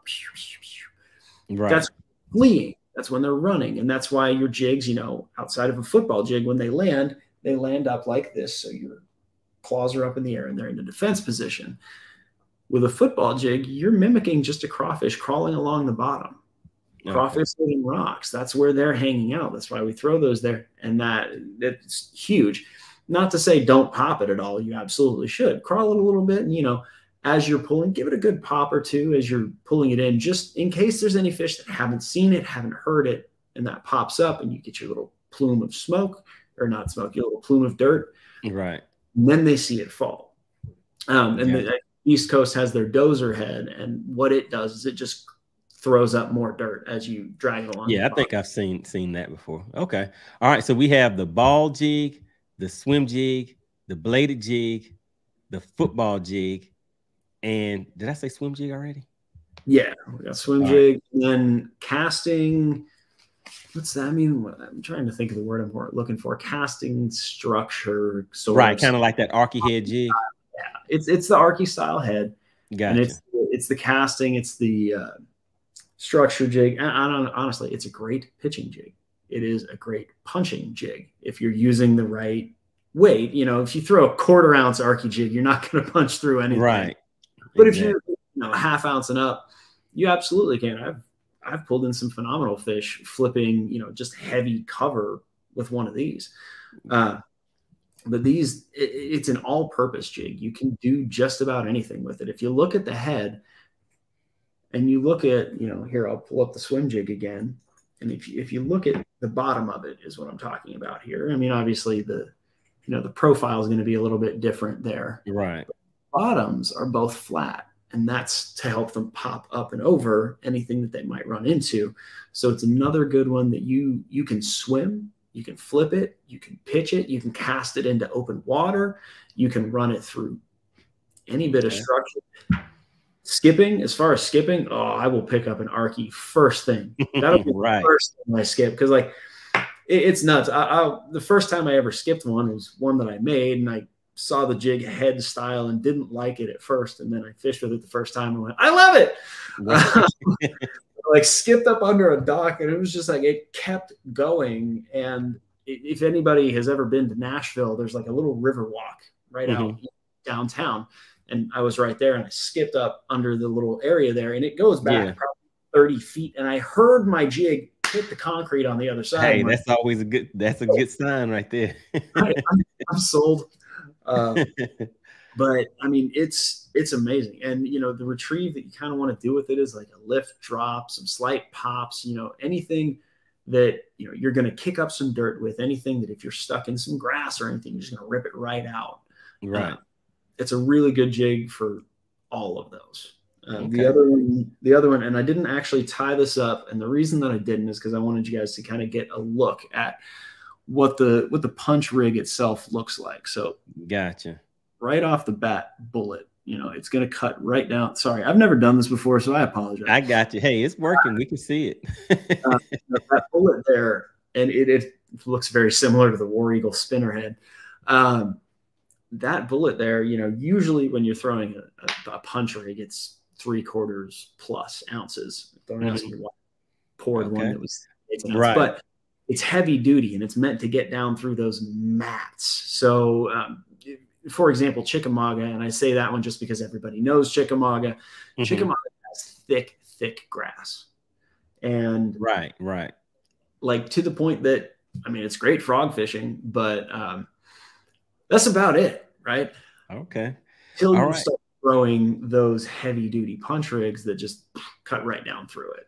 So it it's similar to a lot of the pitching and everything else that you're using, but you're just casting that into places that nothing else would get through. And and gotcha. the reason that I do them like this instead of you know in a full pitching jig is it allows me to create you know my own hardware for it. So I'm running a four to five aught EWG hook. Mm-hmm. So as it goes down, it doesn't matter what a weed guard's doing. That hook tip is buried in that plastic until something bites it. So right. when, when you're punching down through all of that heavy, heavy stuff, that's what I prefer to use. And it's, okay. I mean, and with those, it's they're they're super super quick. You're punching it down in through there, giving it two, three, four pops, reel back in, go again. Gotcha. All you right. You just can't pull that through. Yeah, exactly. All right, then, guys. All right, so those are the different types of jigs that we're kind of going over for this evening. And man, we've been rolling. Time flies when you're having fun. So I know we talked about doing the how would you fish it. I have a few other questions that I wanted to get into, but I guess since we've gone over the different types of jig styles that we can use, I guess we can go ahead and get into the how would you fish it segment. And basically, what that is is I will bring up a video clip, and most of the time, guys, I bring that up of, a clip of whenever I was out on the water myself, but I found some, something a little different. I'm, go I'm going to pull up some footage, and this is going to be using the electronics as usual. And we're going to kind of incorporate how would you fish it whenever you see the, the type of structure that I'm going to pull up. And actually, hold on just a second.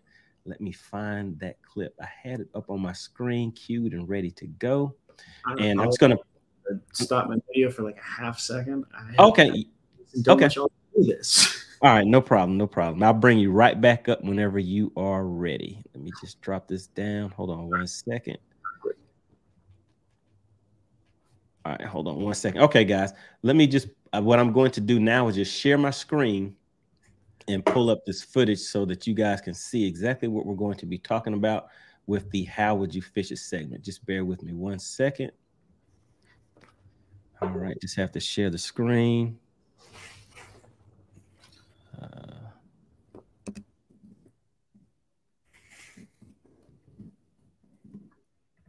All right, just bear with me, guys. Just give me a second. All right, just have to because I had another file, and also the other thing that we were going to get into was those crawl colors. But let me just pull this up real quick so we can take care of the how would you fish it segment. All right, here we go. All right, there we go. All right, so let me just drop this over real quick. See how I can get the screen set up for everybody. I think that might work right here. All right. All right. So, Colin, you can see the screen okay? Yeah. All right. All right. So, guys, basically what we're going to do is take a look at a um a video clip and in the comments, make sure you guys get active in the comment section. And also, the guys that are here from the money team, I definitely want to see you guys getting active in the comments, letting me know what you see on the screen, what you would use to fish it, and why you're choosing those baits. Um, all right, so let's go ahead and take a look at the video clip and we will go from there. All right, here we go, guys. What a brush pile looks like beneath your boat. And if you take a look at this, here's the bottom of Lake Eufaula right here. And then you'll see that brush pile with the branches coming out with a pile of bait above it with the bass beneath it. But the other side of this is a lot of the technology that these guys are using. Ronnie, let's go to what's called Mega 360. And here's what it is. You see the boat in the center, okay? with this 60 foot radius. It's basically underwater sonar to show you right here. You would want to make that cast. Here's your brush pile off to about two o'clock, and you see that brush pile at about 30 feet from your boat. So you basically make a cast at two o'clock and you will come right through that brush pile. And we said this enough is it's a law of average. If you can hit 50 of those a day, and trust me when I say this, there are tens of thousands of, of planted brush piles in this lake. If you can hit as many as possible, make three to five casts to these brush piles throughout the day, somewhere you will catch five big ones. And they say, Oh, that looks good, guys. Look at that. That is the 360. That is a very big brush pile.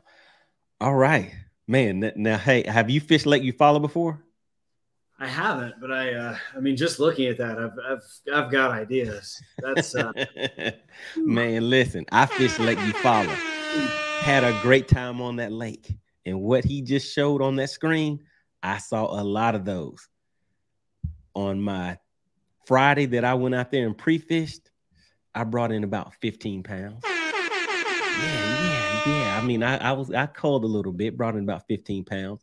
Day one of the tournament Came in with about 17, 7 4. Lake Eufaula. All right. Fishing that type of structure right there. In day two, which was that Sunday, I mean, things slowed down a little bit, but I was still able to get about 12 something pounds. So just taking a look at that structure again, guys. So that is the Mega 360.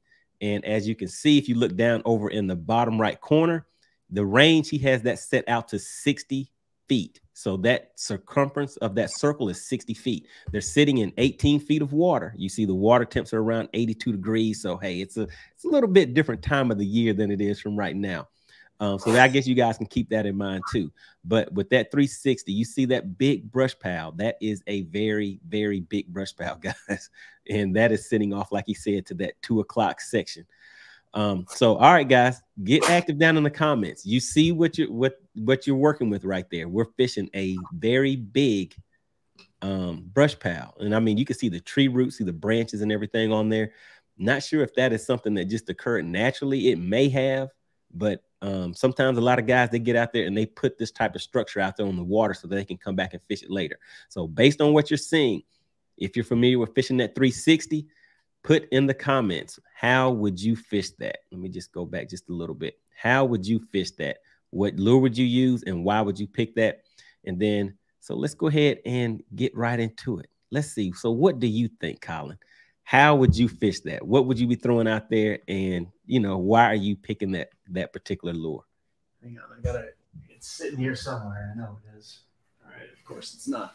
So I'm uh, getting ready to release buzz baits too, but um, so that water temperature is pretty high. It's probably right. mid to late summer. I'm, I'm guessing. Right. Uh, so you're you're looking at pretty lethargic fish and i mean i'm torn i, I have a couple different things that i would do i'd certainly probably start with either a buzz bait or one of these and i know it's not a jig so don't go ahead and don't hate me all right uh, okay okay reason being uh, that's going to let me know you know how aggressive are they being at that point in time plus mm-hmm if they're not that aggressive, you know, a buzz bait is a reaction bait. It's there to make them mad. So right. louder than my, my buzz baits that I throw, like they're the squeakiest, loudest. Like if it was your car, it would be in the it would it would be at the dump.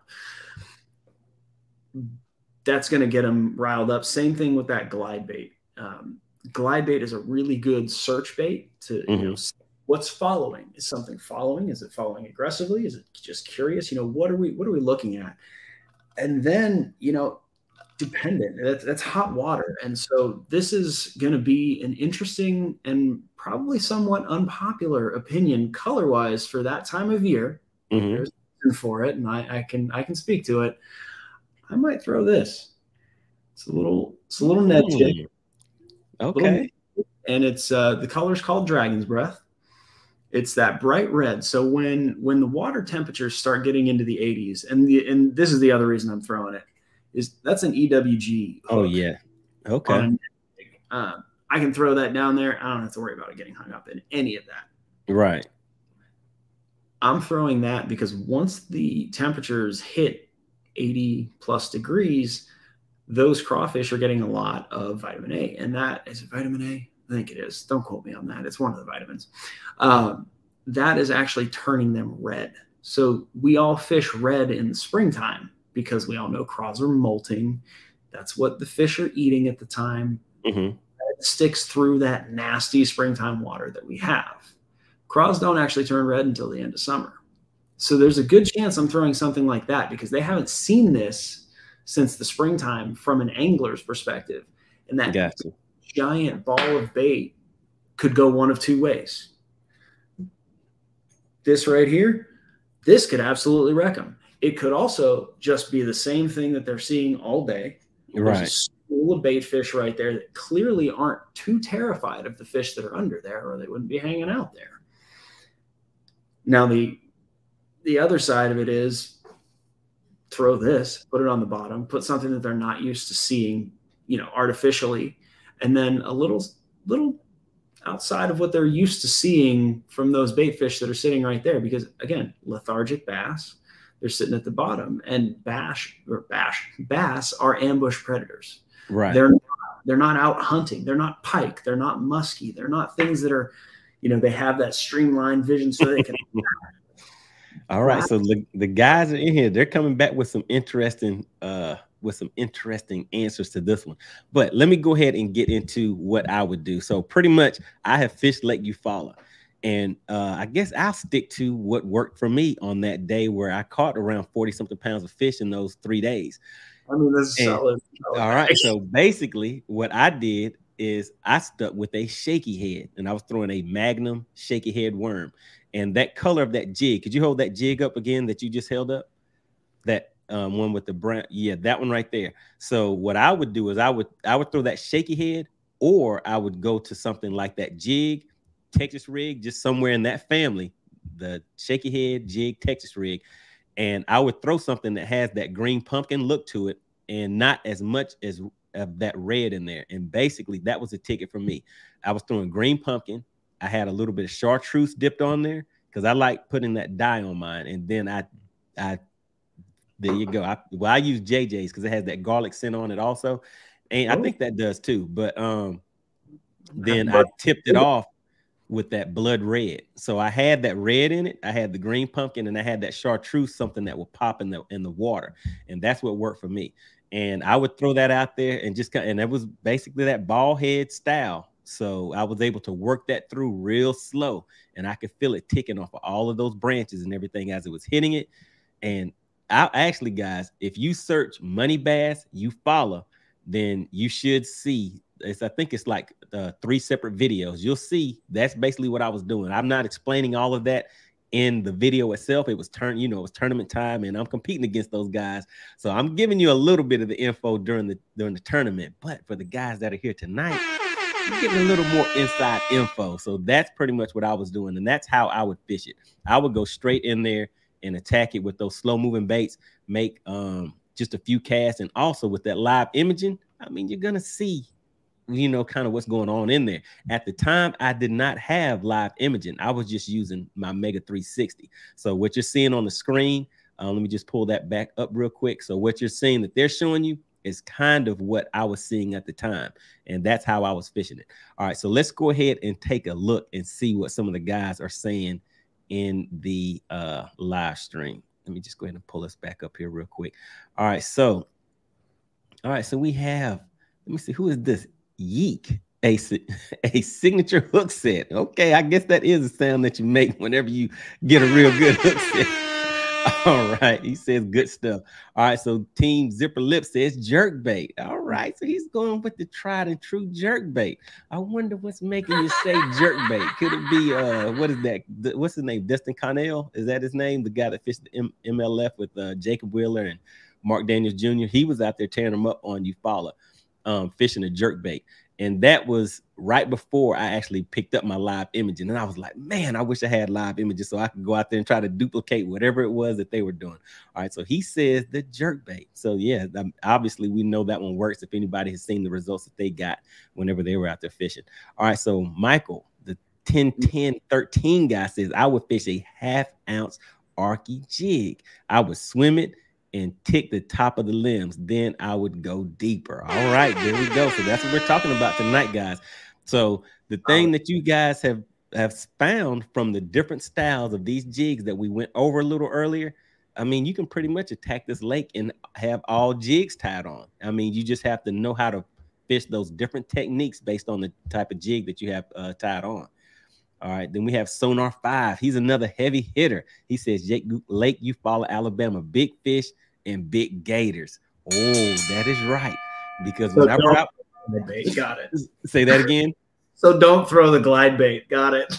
Well, I mean, it just depends. You just want to keep it away from those gators. so, I mean, they do have some big ones. I and actually, guys, when I was out there on Lake Eufaula, I went up. Uh, I headed north. So when you come out from Lake Point, you hook a strong right and go up towards that shallower water where there's coves and everything up there.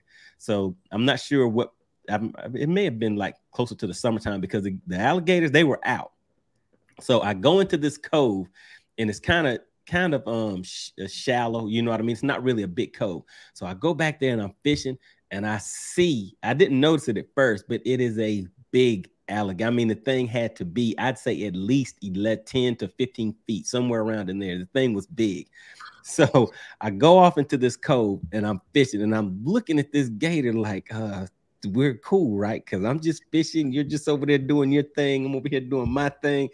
So I I'm heading towards it a little bit, but I'm not planning on getting that close. This thing lifts his head up and turns and just looks directly at me. It just lifts its head up real fast and turns, looks at me, and starts going into the water. And its head stays above water and then it slowly sinks under the water. Man, I hopped off from the front of that boat so fast and turned the key. and I hit the I hit the boat in reverse. I don't I man, I was like that thing can easily jump on the boat if it wanted to. I did not know its intentions. and I did not want to find out. So I threw that thing in reverse. And again, I'm in a small cove. There was only one way out of this little cove. So I'm backing up and I I mean it's like something off of the Dukes of Hazard or something. I'm going backwards, and when it spins around, the front spins around, and I punch it in and forward and not take off out of there. So yeah, Lake Eufaula does have those gators in there. All right, but yeah, kind of kind of brought back some memories right there with that comment. so yeah, you got to watch out for those gators when you go to Lake Eufaula. All right, then we have David Easy D Maddox says half ounce Arky jig does it all. My choice. All right, so there we go. So we got some jig fishermen in here. If you know how to work those jigs, then yeah, you're good. All right, Delta Bass says with water temp, they will be active. I'd start, uh, let's see, ticking the top of the brush towel, brush pile with a crankbait, then structure jig and shaky head last. All right. So to me, I think you're living kind of dangerously throwing that crankbait in there because let's say that that eight or nine pounder is sitting in there waiting on you, and you're like, hey, I want to just go ahead and tick those branches, but you tick, tick, stick, and you're like, uh oh, wait a minute.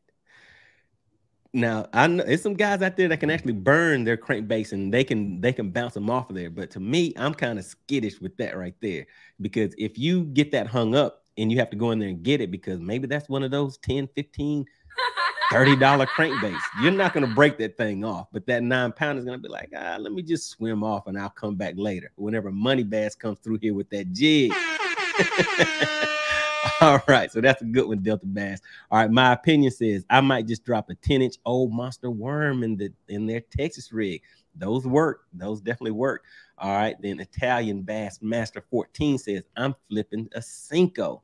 All right, so yeah, those Senkos, those are working there too. So you're going at it a little, you know, nets, trying to finesse them out of there. All right, and and whenever I whenever I'm on Eufaula, I throw my Senko and I, I just throw that straight braid. I have, I think, like 30 pound braid or something on there because I, I fish that on the grass edges also. But yeah, so that's that's a good combo right there. All right, then Team Zipper Lip says, I'm changing to shallow to a wait a second. I'm changing to a slow roll double willow leaf spinner bait, bumping branches. All right, we all know that's a killer too. That's a killer one. That's a good one. All right, then Italian Bassmaster 14 10 inch Mondo worm. Wait a minute, you you double dipping off in here. Didn't you just say a flipping a Senko? All right, so he's. Well, I think the Mondo is a Senko. Oh, okay, it is 10 inches. Oh wow, goodness gracious. Okay, I was thinking that was more like an old monster worm. Okay, so he's throwing the a big Senko. I I think I've seen those before. Now that you mention it, go big or go home, right? You know, right, there we go. There we go. All right, then we have member of the money team stepping in. So Jason. All right, guys, and just so the guys know, the the way that you can tell who are the members of the money team, or if you look right next to their name, there's like a little badge next to it, and it's like a little Money Bass logo. Those are the members of the money team. If anybody is interested in supporting the channel, becoming a member of the money team, just hit the join button down below. It'll give you some details about what it is to be a member of the money team. And also, guys, the members of the money team, I will need a way to reach out and get in contact with you because what we are going to do is have the members of the money team, they're going to receive some of the jigs that we have been talking about tonight. So, Colin at RPM Jigs is going to make you some custom jigs that you can go out on the water, you know, catch some two, three, five, nine pounders, and then come back and report to us you know how you like the jigs, what the action was. So we're gonna put something together for you guys. So um, you guys, and actually, let me just put my Instagram. It's scrolling down across the bottom. Hold on one second. Let me make sure I put this down here. All right, so my Instagram at official money bass, and then Colin, yours was uh at RPM jigs. Yes. Okay, at RPM jigs. So make sure the guys on the money team send a um a message over to those Instagrams. And let me just take a look real quick because I think we just have like three guys that are in here from the money team, real quick. Let me just take a look. So we have Jason, we have Joseph, and we have, let me see, that may have been it. I think there was one other guy. Oh, and Mark E. Scott. So I think those are the guys. So make sure you guys reach out to me And if I did miss anybody, um, just reach out to me on Instagram and also reach out to Colin. Yeah, I think that was everybody. All right, so let me just find my place where we were at again. All right, let's see. Let's see. Going through these comments. Let's see what else somebody has to say. Let's see. Delta Bassett. I think I already got that one. Flipping the Senko. Okay, here we go. All right. So Jason says a slow rig. Okay, I got that one too, right? No, I didn't say that one. A rig. Oh, A rig. Oh, an A rig. Slow tipping tops of brush. Second, Texas rig right in the thick of it. Ah, he's being a little sneaky. So he's bringing up the A rig. But guess what?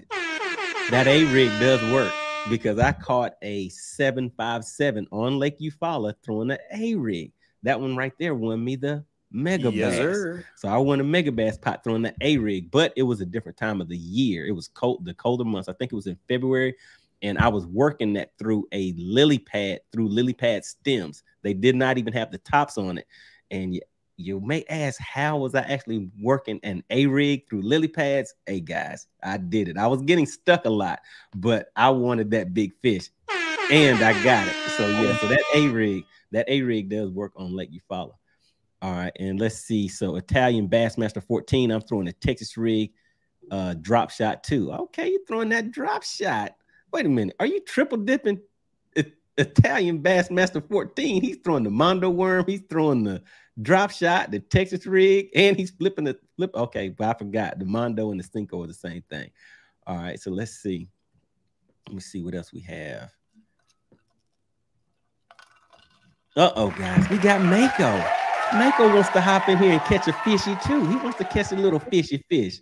Mako says, I would use an arky head jig with green pumpkin skirt and work it through the structure. There we go. Keeping, yes, it, keeping it nice and simple. That's the way you do it. Pull up, make those few casts and move on to the next one. All right, sounds good. Sounds good. All right, Fish uh, says, Colin, Alex told me he needs more of your wonderful swim jigs. Somebody is on you about some swim jigs.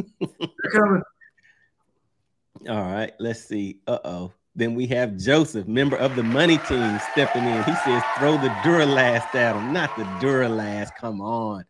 That is Chicken Hawk sponsor. That's what Chicken Hawk likes to talk about. Okay, we have Rick Patterson. Yes, sir. I think Rick Patterson is a member of the Patreon, so I have to double check.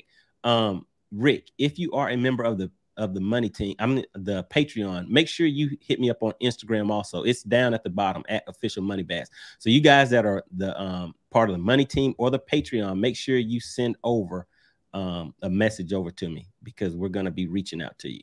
All right. Then we have Mako says, I would use the arky head jig. Okay, I think I just got that one. All right. Then we have, wait a second. Did I read Rick Patterson? Didn't even read it. Let me read Rick Patterson's message. He says shaky head and Texas rig worm. So yes, those those to me, I mean that falls right in line with the way that I was saying that I would uh, attack that structure. All right. Then we have Yeet, a signature. Wait a second. Did I lose my spot? Hold on just a second, guys. Let me just double check. Uh oh, guys. Look what we have. We have somebody stepping up that wants to go ahead and sponsor tonight's show. All right, all right, Jason. Really, really appreciate that. He is a member of the money team. And basically, what I say each guys is for each live stream, the person that makes the highest super chat, super sticker, or cash app is the sponsor of tonight's stream and let me see. So the last live stream, they were kind of battling, battling back and forth a little bit. But Mark E. Scott, he was the one that that stepped up and he became the sponsor. I think his super chat was maybe about $20 or so. You see his name scrolling across the bottom, Mark E. Scott. All right, thank you, Mark, for sponsoring last uh, week's live stream. But tonight we have Jason stepping up, saying, Hold up, swole up. Let me just go ahead and bump you off of here because I want to be the star of tonight's show. So let's see. Let me go ahead and change this real quick. Just bear with me, guys. Doing a little work. All right. So we have Jason is the tonight's sponsor of the live stream. All right, there we go. Scroll, scrolling down at the bottom. Special thank you so much to the sponsor of the live stream, Jason, the member of the money team. Really, really appreciate that. All right, and let me just find my place real quick. All right, let's see. I think we had a few more guys that want to hop in and you know, think they can catch one of those fish out of the brush pile. Let's see what we have to what what else we have. All right, so okay, Jason stepping in saying, "Did you get up on plane in reverse?" Oh man, listen, I was trying to. I that that that look on that gator's face, it definitely had bad intentions. Guys, I don't know if you ever felt what it feels like to be looked at as a meal. I mean, literally a meal, not in a good way. I mean, no. So yes, I was trying to get on plane in reverse when that, whenever that gator was coming after me. All right, then we have Italian Bassmaster 14 says I've been using 50 pound braid and 25 pound fluoro leader when flipping wood and brush. Yep, so that'll work. That'll work. All right, braid can snap off around wood, right, and rocks. Yeah, so you want to be careful with that. All right, so Jeff Newell says from a year-round jig man, good info, fellas. East, let me see, East Cobb Bass Club in the house. All right, all right, really, really appreciate that. Oh my goodness, hold on just a second, guys. I think I just got some chills from. We have. Oh my goodness. Guys, we have a new sponsor of tonight's live stream. I mean, I don't know if anybody's to top him, but Italian Bassmaster 14, he is kicking in with the comments. Yes, sir. And he is kicking in with the sponsorship of the live stream. So, Jason, he says, Hey, man, you doing good and all. Really appreciate the support. But Italian Bassmaster 14 says, Hold up, swole up. I think I'm gonna have to take this spot. So hold on, guys. Let me get in here and do a little bit of work. Really, really appreciate you taking the time to sponsor tonight's show. All right, so we have Jason that was in here. Really appreciate it, and really appreciate everybody for stopping in and just showing support for the channel. Man, you guys have been buying the merch. I got the new merch out for everybody that you guys were asking about with the Money Bass hats, the hoodies, the t-shirts, all that good stuff. Just really, really appreciate the support coming in from the channel. Let me go ahead and type this in here real quick. So we have Italian Bass Master. Bass.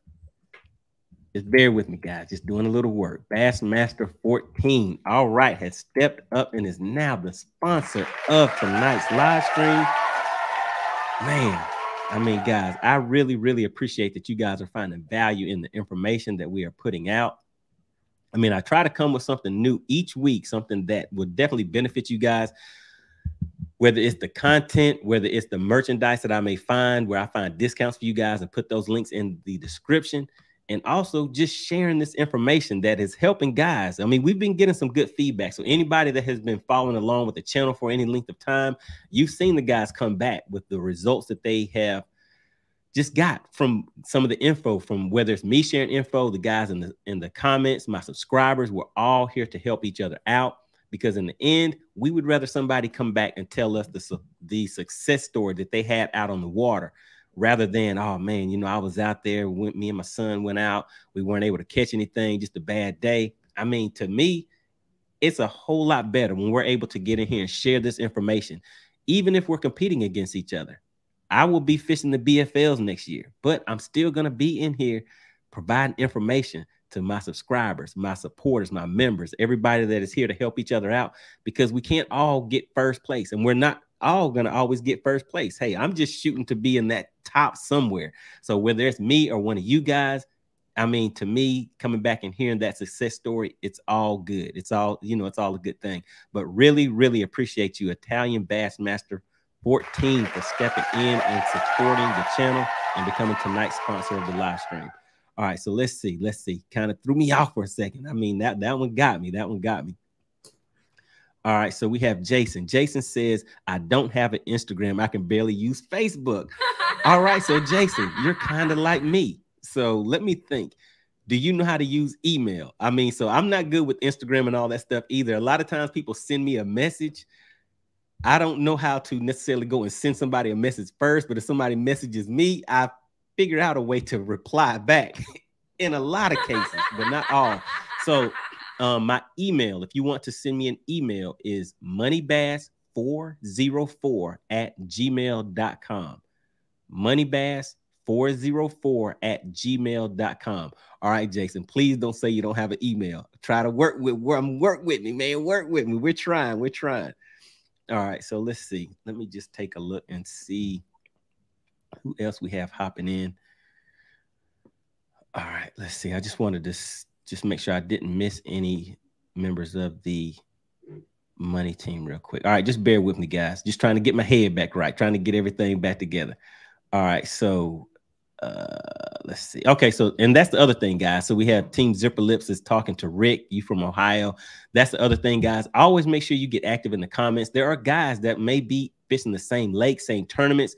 Some of the guys here have met each other, they've teamed up fish tournaments, or they just share information on the lakes that have definitely helped each other out. So always make sure you mix and mingle in here. There's you know great relationships can be formed in the in the chat with the subscribers guys so basically that is what we're looking looking to do just build a community of anglers all right and let me just make sure that i haven't missed anybody. So jeff newell says colin just dropped $100 on jigs from your website. Looking forward to hitting lake lanier soon. Whoa wait a minute. Okay hold on. I'll let colin talk a little bit. Let me just go ahead and hit mute for a second. Go ahead. What do you have to say? Thank you, Jeff. Um, I guess I know what I'm doing tomorrow. I'm gonna be making up some custom jigs. Um, man, dude, uh, send me pictures of anything that you catch on. I definitely want to make sure that I shout you out everywhere. And thank you, thank you so much. And like, obviously, my dream is to do this full time, and so thank you. That, that's amazing. So sincerely, thank you, thank you so much. Yeah, guys. I mean, this it's really a good thing to me whenever we can come together as a community and start helping each other out, whether it's supporting through buying the products. So I mean, we see Jeff. I mean, he he definitely seems like he's gonna be a jig fisherman. And also, Jeff, were you fishing jigs before, or you know what I mean? Have you been fishing into been into fishing jigs, or are you just getting into it? Um, you know, just give us a little bit about you about you and you know what you're looking to get out of these jigs out on the water. All right. And then let's see. Let me just make sure I'm not missing anybody. All right. So Italian Bassmaster says, yeah, my ex fiance. Hmm. I'm not sure what that's in response to. Maybe it was something that somebody else said in the comments. All right. But let, I'm just trying to get caught up, guys, and then we will continue on. We've been rolling for about an hour and 37 minutes, guys. Time flies when you're having fun. So, what we're going to do is just kind of speed things up a little bit because I know people have things to do. So I want to get this information out to you guys, and also I will clip up some of this so that you guys can come back if you missed some of the some of the parts of the live stream. You can come back later and and get caught up on some things. All right. So Mako Mill says, Colin, take care of my buddy Jeff. All right, there we go. Yes, sir. So don't don't worry. There's gonna be a little extra stuff thrown in there. All right, definitely, definitely sounds good. All right. Then we have Italian Bassmaster 14 says we can co-sponsor. All right. So yeah, so we have a we have a sponsor and we have a little bit of co-sponsoring going on too. Good deal. Good deal. All right. Then Chris, uh, how do you pronounce that? Debasio. DiBiase. Okay. Is my real name, y'all. Okay. All right. Gotcha. Gotcha. All right. Sounds good. Really, really appreciate that. All right. Delta Bass is my line, my my jig line, 40 pound, 40 pound. Sufix 131 braid. Oh, okay. I thought he was talking about fluorocarbon or something at first. Ooh, I was about to say, man, that's the size of some rope. All right. So he says 131 braid with 20 pound Sunline FC sniper leader. All right. There you go. That sniper. I've heard about that line before. I use Seaguar. Um, most the majority of the time, that's what I'm using the Seaguar, but I have used that sniper line a few times. All right. Then we have Fish says, forget about it. All right. All right, Italian Bassmaster says, I need help learning. All right, okay. All right, so he needs some help learn. Okay, so he's gonna be getting into the jig. Anyone who can help me learn Garmin Live Scope, I would greatly appreciate it. All right, Italian Bassmaster 14. Man, come on, man. You need to go ahead and join, become a member of the channel. That is the main thing that we do is discuss electronics, your settings, whether you have Garmin, Humminbird, or Lowrance. There's someone that is on this channel in the comments and my subscribers that can uh, help you out with just about anything. I run Humminbird systems, guys. So the majority, well, pretty much all of the tutorials and everything that I do are going to be based on Humminbird systems, but a lot of it is going to be like techniques and things like that. Um, so as long as you're trying to learn your uh, electronics, even if it's live imaging, 360, sonar, those type of things. If you search Money Bass and put live imaging, Money Bass, side scan, any of that, I have over 500 videos on YouTube, guys. So I'm pretty sure that you'll be able to find the information that you need. And that's what we will definitely be getting into um, this coming year is more of the electronics tutorials and things like that also. Because like I said, I want to be able to come back on our Tuesday, 8 p.m. Eastern live streams and hear about the success stories of you guys being out there on the water. All right. And let me just look through here real quick. Um, Colin, I just want to see if there's anybody else that stands out that I might need to address real quick. Uh, I'm enjoying all of this. I'm I'm learning stuff too. So, oh yeah, yeah, we're getting into it. And guys, guess what we have? Uh oh, we have a new member.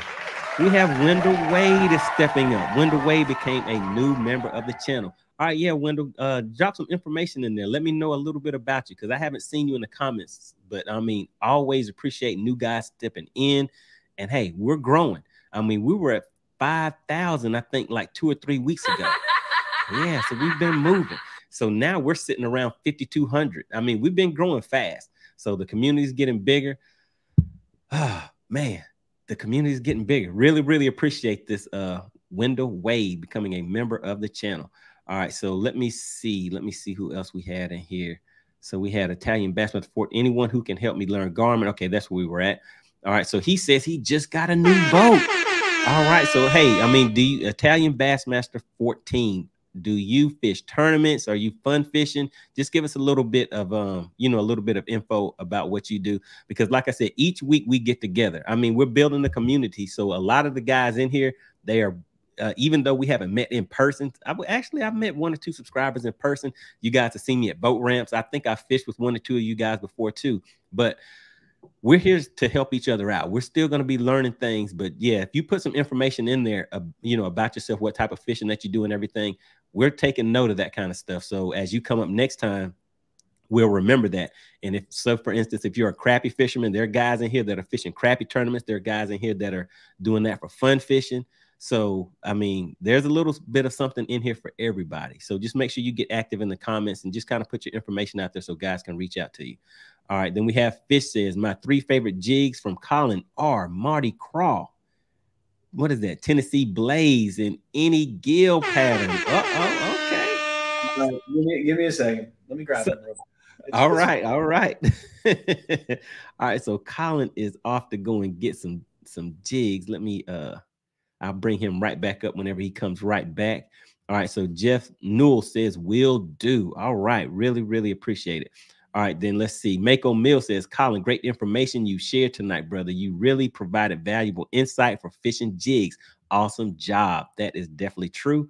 All right. So, yeah, we have a few other questions um, that I'm going to get into with uh, Colin. But if you guys have any, um, like I said, I'm going to try to speed up a little bit because I mean, we're having fun. We're having fun with it, guys. Um, but yeah, I'm, I definitely want to get this information out to you also. All right, let me just look and see who else we have in here. All right, all right. Let me see. All right, here we go. So this is a question that is coming up, Michael. What rods, reel, line would you use for jig fishing? So we're about to get into that. And Jeff says, yes, uh, I'm mostly a Keitech, Keitech casting jig man, one half ounce PB and J. All right. All right. Then we have Colin. Have you ever fished a D and L jig? All right. I'm going to bring Colin right back up in just a second. Um, let's see who else we have in here. All right, Wendell. All right, look at that. Wendell, he has that badge right next to his name, new member of the money team. He says this is also Bass Life 22.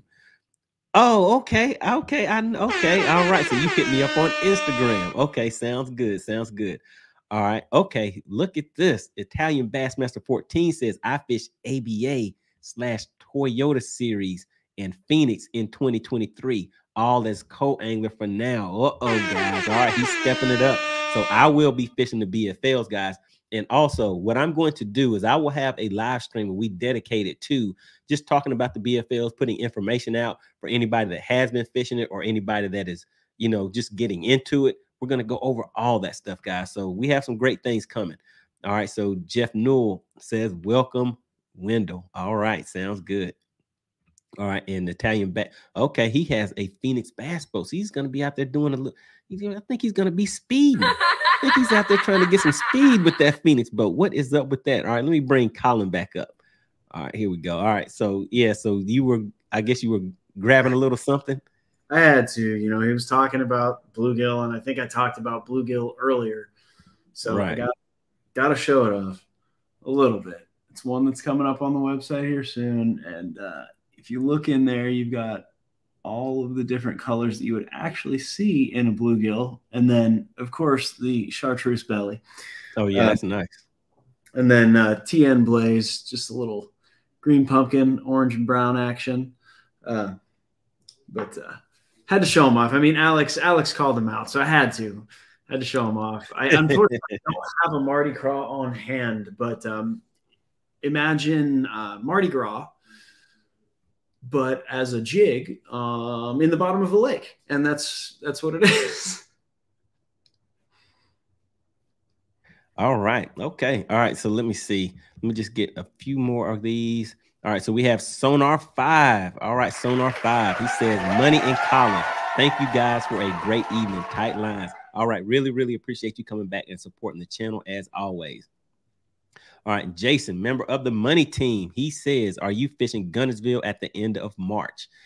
Um, I don't think I'll be at Guntersville in March. I have to check my schedule, schedule and see. But whenever we uh, have the live stream, live stream, and I'm talking about the BFLs, um, I'll get more into the the tournaments that I plan on fishing for next year, what lakes I'll be at, and things like that.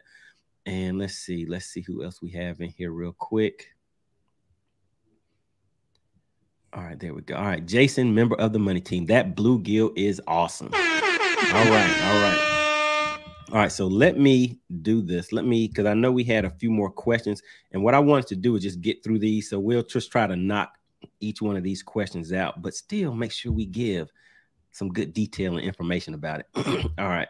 Um, hold on one second. Here we go. All right. So the question that was just asked, and this was actually in the comment section, but it was on my list. What action rod, gear ratio reel, and line size do you recommend for those jigs? So I think we went over maybe three or four, well, maybe about five different types of uh, jigs. And so what yeah what setup would you use for each one of those? And i guess we can kind of go through that real quick and just touch on those points for each one of those. I think it was like five different types of jigs. So a lot of them are going to kind of fall all within the same. Um, jigs you, you have to remember as you're fishing them you're you know three quarter ounce half ounce and up whatever size you use. But we all know that the standard sizes are going to be three quarter and half ounce.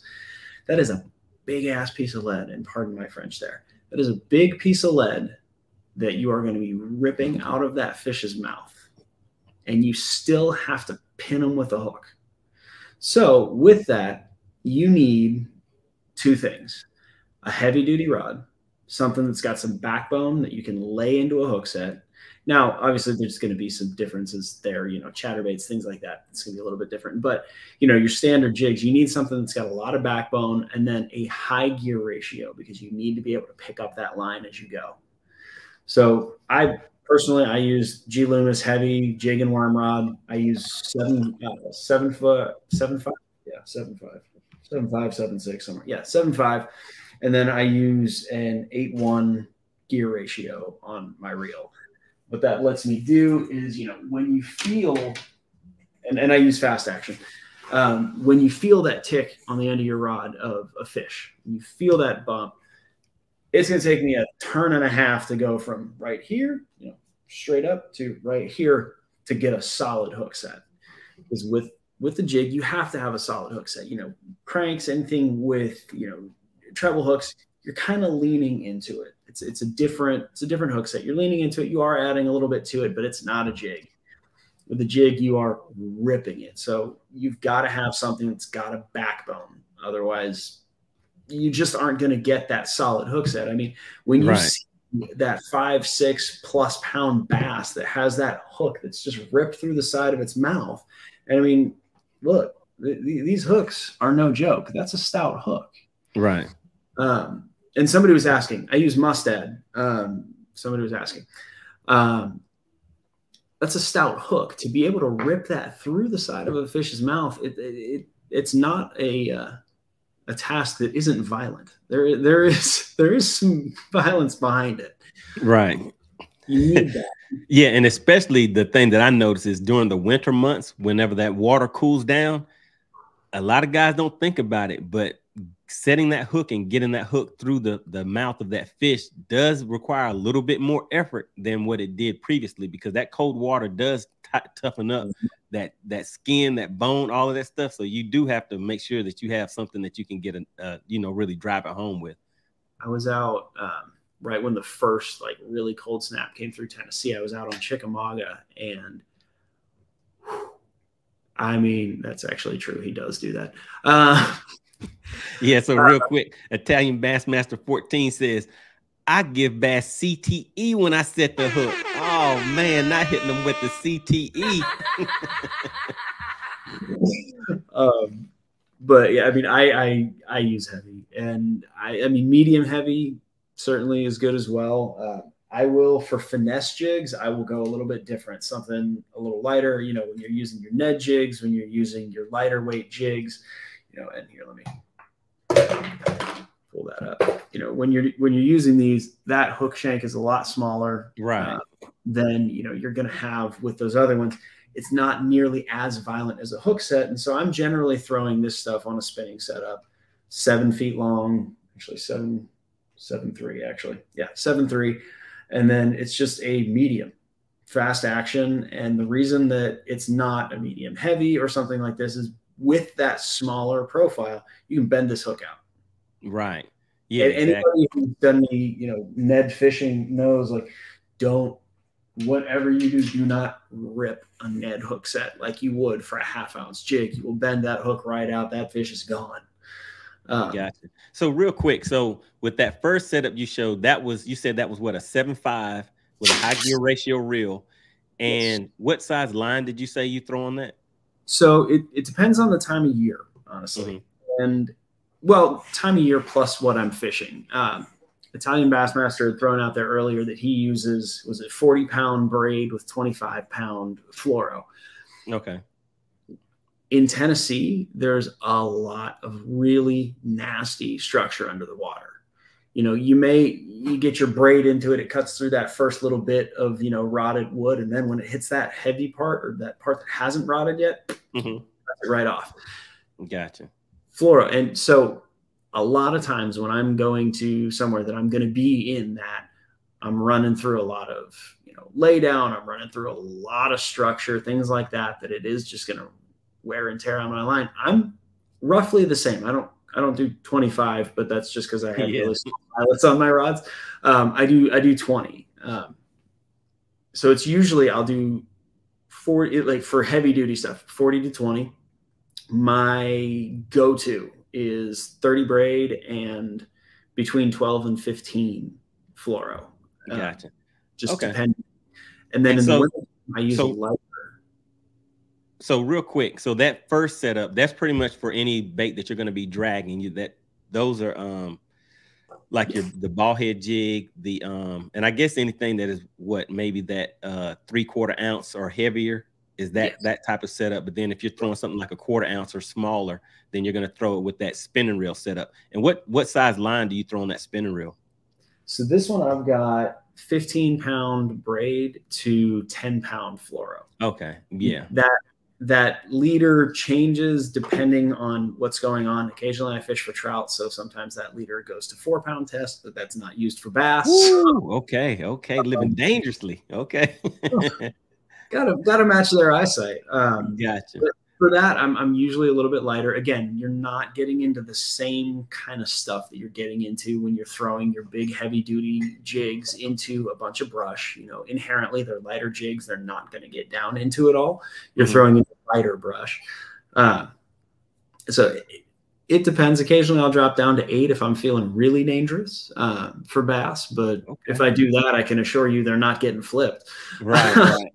Yeah, so with mine, I, I generally like on my spinning rod, I'll I'll throw I think 20 pound braid. I throw like a high vis yellow, and then nice. I'll uh, put a 12 pound mono. I'm sorry, 12 pound fluorocarbon leader on it, and that's pretty much what I throw on my shaky head. Sometimes I'll swap that out and throw like a smaller Texas Swig or a smaller jig on there. So that's my setup on that spinner reel. So that's like your dragon baits and then your small ones. And then what do you throw for like the other ones, like your swim jig and your your chatterbait? I'm guessing that you probably throw the same line and setup for those for those moving baits. I, I don't actually. So oh, okay, okay. Uh, so I'll use a little bit shorter rod than I normally do for a swim jig. Um, simply, simply because generally when I'm throwing a swim jig, I'm throwing it for shorter casts. It can be used for longer casts. I would recommend using it on something that you can throw for longer casts. This is just tailored to me personally. Gotcha. I'm medium heavy with a swim jig. Uh, it's a stouter hook than the others. However, that fish is on the move and you're not worried about pulling a half ounce of a football jig or an arky jig out of their mouth. You're pulling something right. straight out. So that just pops out and then the hook sticks. So you don't need the same hook setting power. I've actually done that where I've taken only my heavy rod out and I'll run a swim jig on it because, well, that's what they're hitting. Mm-hmm. I've, I've ripped it out of their mouth before. Not saying that you can't catch them on a heavy, you can. I've done it plenty of times, but I have right ripped it straight out of their mouth before uh, with that. And then the chatterbait, and this is, you know, ultimately fishing is all personal preference, but there are people that may disagree with me on this one. They may not. I use a chatter or I use a um, crankbait rod for my chatterbaits. Oh, okay. Uh, reason being, you know, as it comes through the water, you're going to have a lot of that same feel that you're getting from, you know, whether it be a deep diving crank or whatever the case may be. This rod is meant to be able to take that. So when it loads up using a chatterbait, it loads up similarly to a um, like a, a crankbait. You do have to get a solid hook set. I have never lost a fish on a chatterbait using one of these, using a crankbait rod and I'm still send, I'm still living in that six and a half or six and a half, seven and a half foot range and medium heavy. Cause again, same thing. You're not worried about ripping that giant, you know, piece of lead out of their mouth. And I don't want to overdo it. So this me personally. Now, when I throw chatterbaits, I will differ a little bit. I go straight fluoro. I don't use braid. I don't. Gotcha. I I'm running straight fluoro. I just like the way that it performs in the water better. Right. Yeah, that's pretty much how I run mine also. And so I guess with the throwing that on that cranking rod, how it's going to have a lot more flexibility in the rod itself. Is the the the hook itself, is it more of a thinner hook or is it still like one of those beefy hooks that you have in there? So it's it's not the it's not the swim jig hook. It's actually I think I've got one around here. Now that I think I do. It's not the swim jig hook, so it's not going to be as stout. So looking at that, it's gotcha. it's not it's not needle, you know, not quite a needle. It'll still stand up to a hook set, but you don't need nearly as much to pull that through the side of a fish's mouth as you do when you're using something hanging out on the bottom. Gotcha. Okay. And then let's see. So yeah, so Rick Patterson, he is a member of the Patreon. I, I kind of figured that uh, that you were Rick.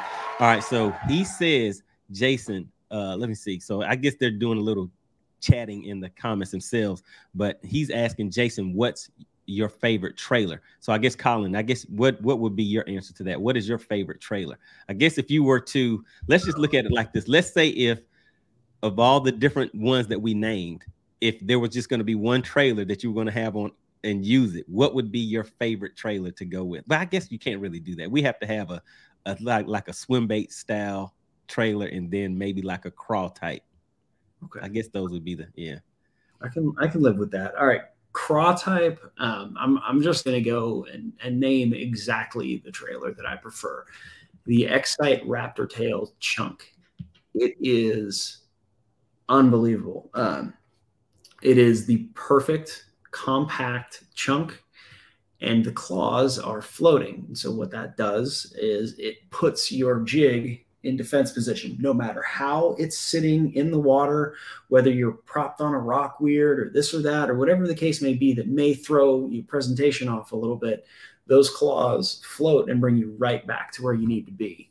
Gotcha. Um, and then you know, outside of that, for bait fish, paddle tail. Um, it's not my it's not my go-to for a bladed. Uh, my go-to for a bladed is going to be a fluke all day. However, you can't work this as well on a straight swim jig as you can with the paddle tail. And right. Really, to fix the bladed jig issue, flip it upside down and you're good to go. So I'll throw a paddle tail as a trailer for bait fish all day, and then just a simple uh, Xcite chunk for my trailer if, if I had to pick two. Gotcha. All right. And let's see. So we have Italian Bassmaster 14 says, I am fishing Old Hickory tomorrow. Is anyone free? look, looking for a fishing buddy. All right. All right. Okay. And so All right. So I guess that is the answer to that question. Let me just go ahead and read it one more time. What action rod, gear ratio, and reel size do you recommend for each? All right. So there we go, guys. That is that question answered for you. Let's hop into another one real quick. All right. So one of the subscribers asked this one. All right. What colors are crawfish during each month and discuss like the kind of behavior? So I guess like the type of action that you want to use and the specific trailers. I know it some sometimes people use more of a, a trailer, and actually I have something that I can show you guys more like a a no action chunk trailer. It doesn't really have that much action to it. Mm. So something like that um, versus a um, like that's a rage craw. So that one has more of a fluttering action when it falls. So it has more action whenever it's moving. So the question is, what colors are crawfish during each month and discuss the crawfish behavior? So by month is a little difficult, but I can go by early and late seasons. Um, gotcha. Okay. And what I'll do also is I have, let me just go ahead and remove this real quick. But what I'll do is I will share the screen and pull up um, this chart that I that I found, and it has some different crawl colors on it, and that may help out too. So let's I'll go ahead and pull that up while you're talking. Yeah. So early springtime, you know, when everybody's starting to get back out, um, that's when your crawfish are going to be green pumpkin. Um, so they're coming out of the color that they just were. They're starting to get more of that vitamin A into them. There's the water starting to clear up. They're going from that dark, nasty color that they are now to that green, that standard green pumpkin as the spring goes on and you know as it gets warmer, that's going to change slightly. It's going to become green pumpkin with light orange. You know, and as we continue on into the summertime, that's when they start to get more orange. And so, I mean, here's an example: the uh, the jig that I held up earlier with the brown and orange. This is exactly bring you back up real quick. Oh, you're good. That's exactly what I would throw in the summer, um, both early and late. Um, now, early summer is when they're starting to get that color. Late summer is when they're starting to hit that red or that watermelon red, where you're seeing either truly red crawfish, which do exist. They're more difficult to find, but they do exist, and they're more. Uh, if I'm if I'm not mistaken, they're more in like the Louisiana area. They're more in the bayous where you'll find that bright red crawfish. We do have some, you know, in Tennessee. I can't speak to other places that do turn a darker red hue, but not quite that bright red. Um, and then watermelon red, where it's green and then the red that's popping into it. And you were you had mentioned using that color earlier on, right? Uh, I can't remember the name of the lake that we were talking about. Probably um, Eufaula, I think. Yes, uh, using that watermelon red color, that's the perfect time of year. That's when they're that color. Um, and you know, as we start getting into fall, which you know it's all our favorite time to fish, that's when they're starting to get a little bit darker. They're getting back into green pumpkin and then dark browns and then really dark greens. So even darker than a green pumpkin. And I've got I've got one that I can that I'll show off here in a little bit. So there's your standard green pumpkin, even darker than that. And that's what they're doing through the fall. And then when you start hitting winter, that's when your black and blues become reality. Not right. that they black and blue year round, but that's when you're going to find mostly black and blue craws. And this is something that I had had tied up that I like using in the winter. It's black and blue, but I've also got a little bit of dark green pumpkin in there. To give it that natural look. I mean, wintertime, I'll throw this almost solely. Uh, and it just and, it works. It and check out this comment real quick. Team Zipperlip says, back up a sec. I'm going to share a secret. The Tennessee River has blue crawls in the summer.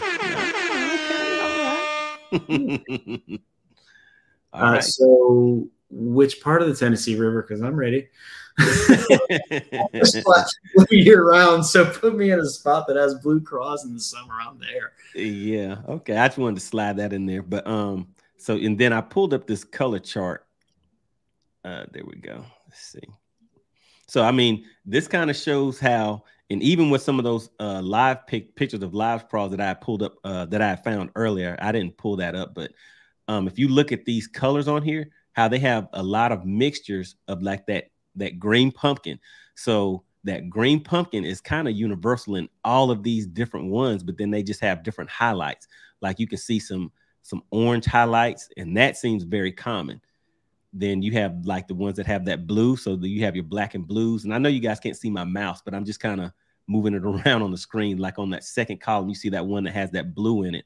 But the the main thing to me that I notice is that green pumpkin with that slight orange you know, with that slight orange color to it.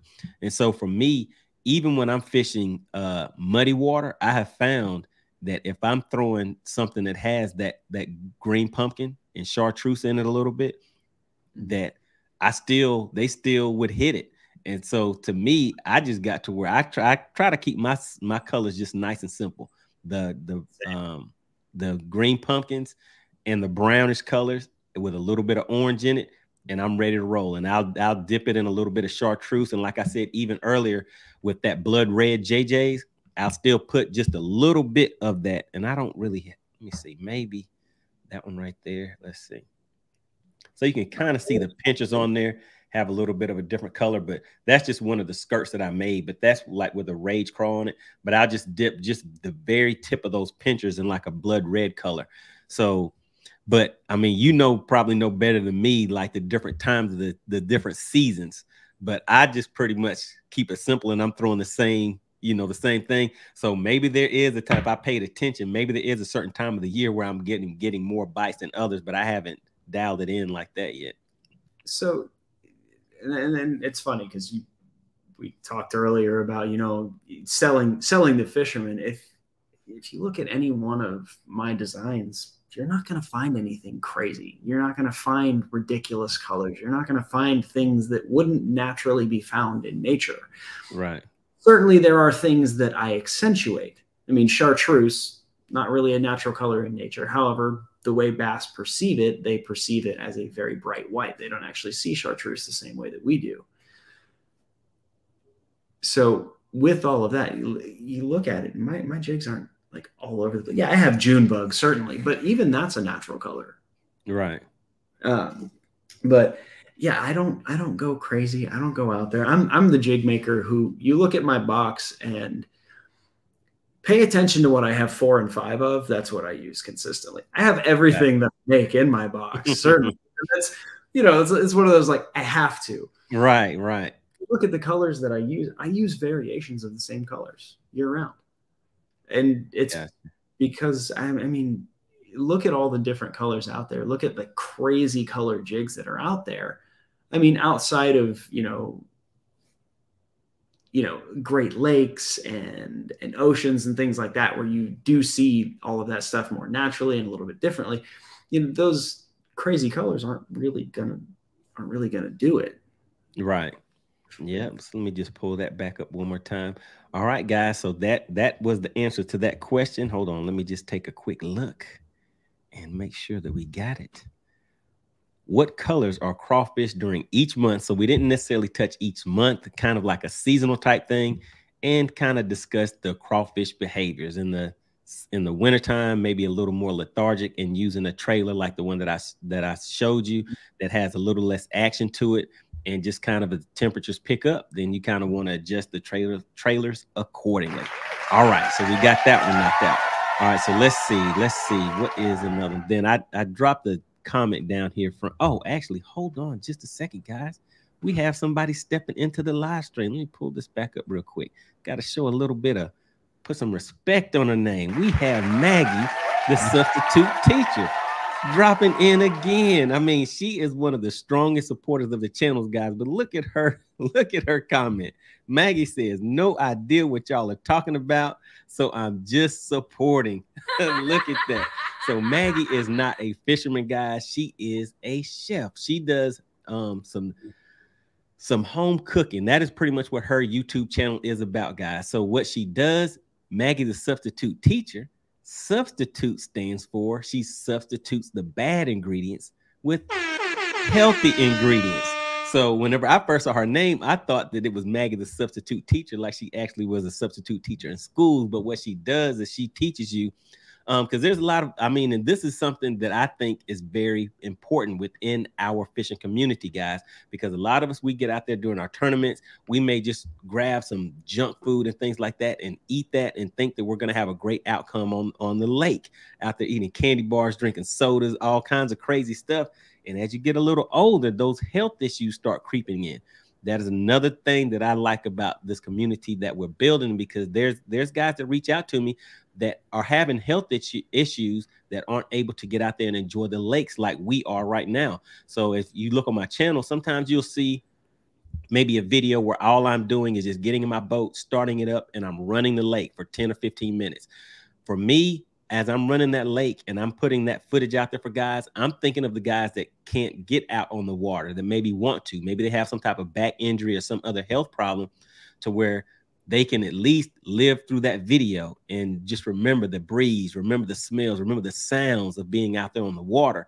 But it kind of comes back to we have to take care of our health, guys. So going back to Maggie, she will you can eat some of those same meals, but what she will show you is how to substitute maybe not putting in salt or putting as much salt or substituting different type of sugars and, and things like that. So it's really like I would say a health conscious thing that we do need to take heed of, guys. So yes, we talk about fishing, but you always have to keep your health in mind because once that health starts going and you don't take care of yourself, man, I mean, just think if you couldn't get back out there on the water for the guys that still can. There's some guys that are dealing with that. So we don't think about it, but it boils down to our health guys. But definitely want to give a special shout out to Maggie always stopping in and supporting the channel, even though she says no idea what y'all are talking about. She's like, I don't know what a jig is, a, a shaky head, and what, what is going on over here. But hey, I'll just stop in and support. Really, really appreciate that, Maggie. All right, and let's see. Let me get.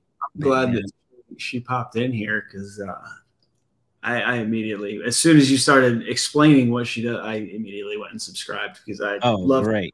And we have a lot of uh, allergies in our house, so that's that's amazing. And she mentioned stuff like that. The other thing about it, guys, is her cooking shows are live. So you can sit there and chit chat with her while she's cooking everything, ask her questions. And yeah, I mean, it's a great time. So she's in there dancing around, having fun, all of that good stuff. And she has a split screen to where she's actually showing you like as she's cooking it. So kind of like how I'm on one side, you're on the other side. So one side will have her like with the the the bowl, the ingredients, and all that kind of stuff. So it, yeah, it's, it's a nice setup that she has. So I definitely say check it out, guys, and subscribe to her channel because all of us can use some help whenever it comes to uh, eating a little more healthy.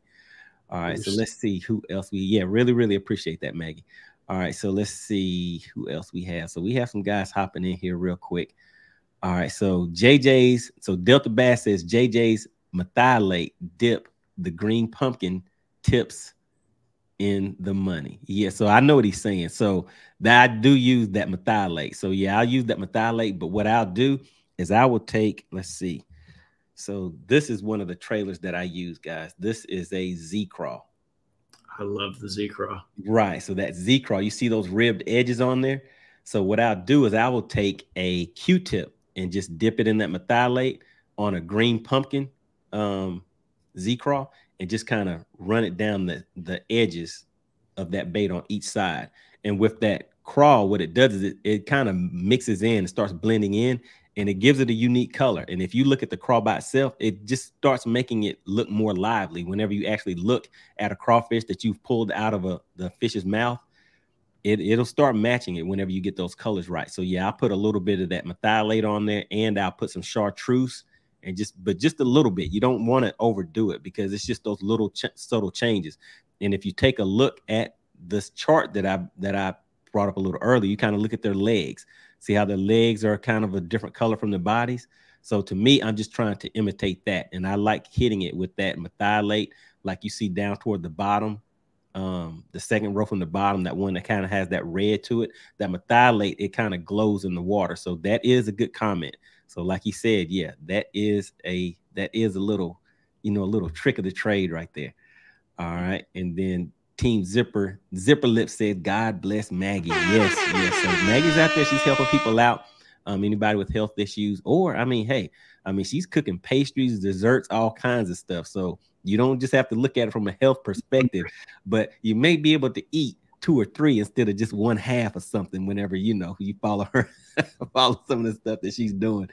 All right, we, yeah. So we have Gabriel. He says, I color my non-black and blue jig trailer claws orange. Just the tip though. That's it. So yes, that is that is the tip. That is a good tip right there. All right, so let's see. I guess we have man, it's 10 16. I guess we'll hit one more one more question. Let's see what are the best types of trailers. All right, did we we didn't talk about what are the best types of trailers to use based on the season. So I guess we kind of touched on that. So I guess what um, let's see. And then when is it better to fish shallow versus offshore? All right. So this is what we would do. All right. So the next question that we'll do, we'll kind of double it up. And um, the question is, well, the questions are, what are the best types of trailers to use based on the season and the action of the bait? And when is it better to fish offshore versus shallow? And I guess which one of the which you know one or two of those baits would you use um, if you're fishing offshore versus shallow? So, I mean, as far as trailers go, there, there's so much that can be done with just one trailer. Um, a lot of it comes down to what you do with it. The one that you were showing off earlier with the very little action to it. Everything that's done with that trailer, every bit of the action that comes from that comes from your hands. Right. Comes comes from us. So you can you can make that exaggerated, you can make that very very dead um, I'm usually sticking with something similar to this, exactly the the NetBait. Yeah. um, and the reason reason for that is it's similar to the Xcite chunk that not X, yeah, yeah the um, raptor tail chunk that I was talking about before, in that the claws are amazing, but as you look at them, there's no real action that's going to come from them that you or I don't make. Like while I love, you know, the Rage Craw, as a jig trailer, it's not going to work year round. So right. you wouldn't want to use that in the wintertime. You wouldn't want to use that late fall, early spring when the water's cold because those craws are just they're they're creeping along. That's going to be a lot of action that's coming because no matter how slowly you creep that along the bottom, those those claws are going like this the whole the whole time. Right. So it's tough. I would I would almost rather throw not almost I would rather throw this in the wintertime because while it still has some sort of action on the uh, on the appendages, it's not anything that's just created by pulling it through the water. You have to again do the work to it, and when you drag that along the bottom, unless you're making it do all of the extra stuff, again, it's going to be that. So I would definitely use those in the wintertime when it's colder and the craws are more, you know, laid back, but I would also use them year round. For me, it's mm-hmm. more how I present it to the fish. That being said, there are definitely ones that I would use, I would be less likely to use in the wintertime. And they're with the ones that have the crazy appendages that are great, just maybe not in the wintertime. Right, exactly. And then as far as whether you're someone fishes shallow or offshore, um, are there certain which trailers would you say, you know, for shallow versus offshore? And I guess that that first part you did kind of answer that. I would say as far as shallow water goes, because you know, with shallow water, like you said, less action when the water is colder and more more action when the water warms up. Is it kind of the same that you would say for offshore fishing or? Yeah, uh, I mean, regardless of where they are, deep or shallow, they're, they're going to be acting similarly, not the exact same. A crawfish that's six inches off the shore and a crawfish that's 25 feet deep, there's going to be at least a five, six, maybe 10 degree difference in the two. So they're going to act a little bit differently.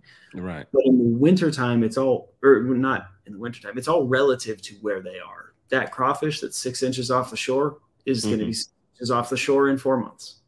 That crawfish that's in 25 feet of water is still going to be in 25 feet of water in four months. It's all relative to where they're at crawfish aren't aren't as migratory as bass. They're not coming up shallow to spawn. They're not going back deep and this and that. A lot of times they just kind of stay where they are. They burrow into the mud instead of go deeper. Right. So with that, I mean, as far as trailers, if I'm if it's wintertime, I'm gonna I'm gonna follow the same thing where you know kind of a more dead, less action on the trailer, no matter what I'm at, what I'm doing, no matter what. Gotcha. Okay. Whereas in the summertime, you know, it really depends. Uh, are we looking at clear water? Are we looking at murky water? If we're looking at clear water, I'm going to use something more like that. If we're looking at murky water, I'm looking for something that's got the ridges and something that's going to throw off more water movement. Um, if it's if it is very murky water, that's when I like to throw the rage craw because you do have the big flapping claws and big flapping appendages, and it's moving that water around, so it's drawing them into you. So it it's it's tough to say because I'll use the same trailer in every situation, whereas. Right. I, you know, I'll know that, yeah, okay, it might not be the best one for the situation, but it's also my confidence. So, you know, whatever you feel most confident in, because ultimately these two trailers run nothing alike. They don't work the same way. They do, but they don't. Right. And you know, if you are extremely confident with just the Paca Chunk, great. You know how to work that in wintertime, summertime, springtime, everything perfect. Right. But yeah, and, and I would say that the thing is the number one thing is you have to fish with what you are confident with because if you are fishing with something and you're feeling like it's not going to bite you're going to put that down and pick up something else. And so now when you put that jig down but that other person you're competing against keeps that jig on and they're a little more you know they have that mindset right because they're fishing something that they have that confidence in and they keep it on. That may be the person that brings in that bigger bass because – on average, jigs are known to catch the bigger fish that are in that area. So that's something to always keep yes, in mind, sir. guys. All I mean, right. So what were you say? Oh, I was just saying a really good example of that. I was fishing a, a tournament early this year, um, springtime tournament, and you know we're all over the lake. I, you know, we all we all use a myriad of, of different items. I won on jigs alone. That was the only thing I caught a, any fish that I could call on. I did throw my swim bait after mm-hmm. I had mm-hmm. caught my limit and was like, all right, I'm going to start culling. I caught a 12 inch fish on an eight inch swim bait. yeah, uh, that's the thing. So that's my plan for next year. As I step up and start fishing um, more of the the bigger size tournaments, I'm kind of changing up from fishing because normally I would be fishing for points and things like that. But now, you know, I'm fishing for more of the size, you know, bigger bags and things like that. So I'm gonna kind of get my jig arsenal set up. So I have more than you know one or two. I may have like two or three jig setups on the boat that I, you know, I keep and start using those a little more often. All right, but man, we've been rolling. I don't know if you see what time it is, but we've been rolling for almost two no. and a half hours. Woo! All right. So, Colin, really, really appreciate you taking the time out to bring this information and you know just share share that knowledge with everybody. But go ahead and shout out let me just drop this down real quick. Go ahead and shout out your instagram and your website again so everybody knows where to find you at. Um, instagram is just at rpm jigs and then rpmjigs.com is the website currently under construction so bear with us. Um, and uh, just you know keep keep an eye out, follow us. We're we're getting ready. We have like the next six months of releases set up. Um, RPM Jigs is actually about to not rebrand, but somewhat rebrand into RPM Tackled. Jigs are still the main thing. That's my passion, but um, right. Been getting into cranks, swim baits, lipless, all the all the other fun things. So, gonna be gonna be expanding. So keep following. And, uh, you know, I'm always looking for product testers as we're releasing stuff. So, you know, if you follow and you like and you comment, you're the first person that I think of when it comes to this.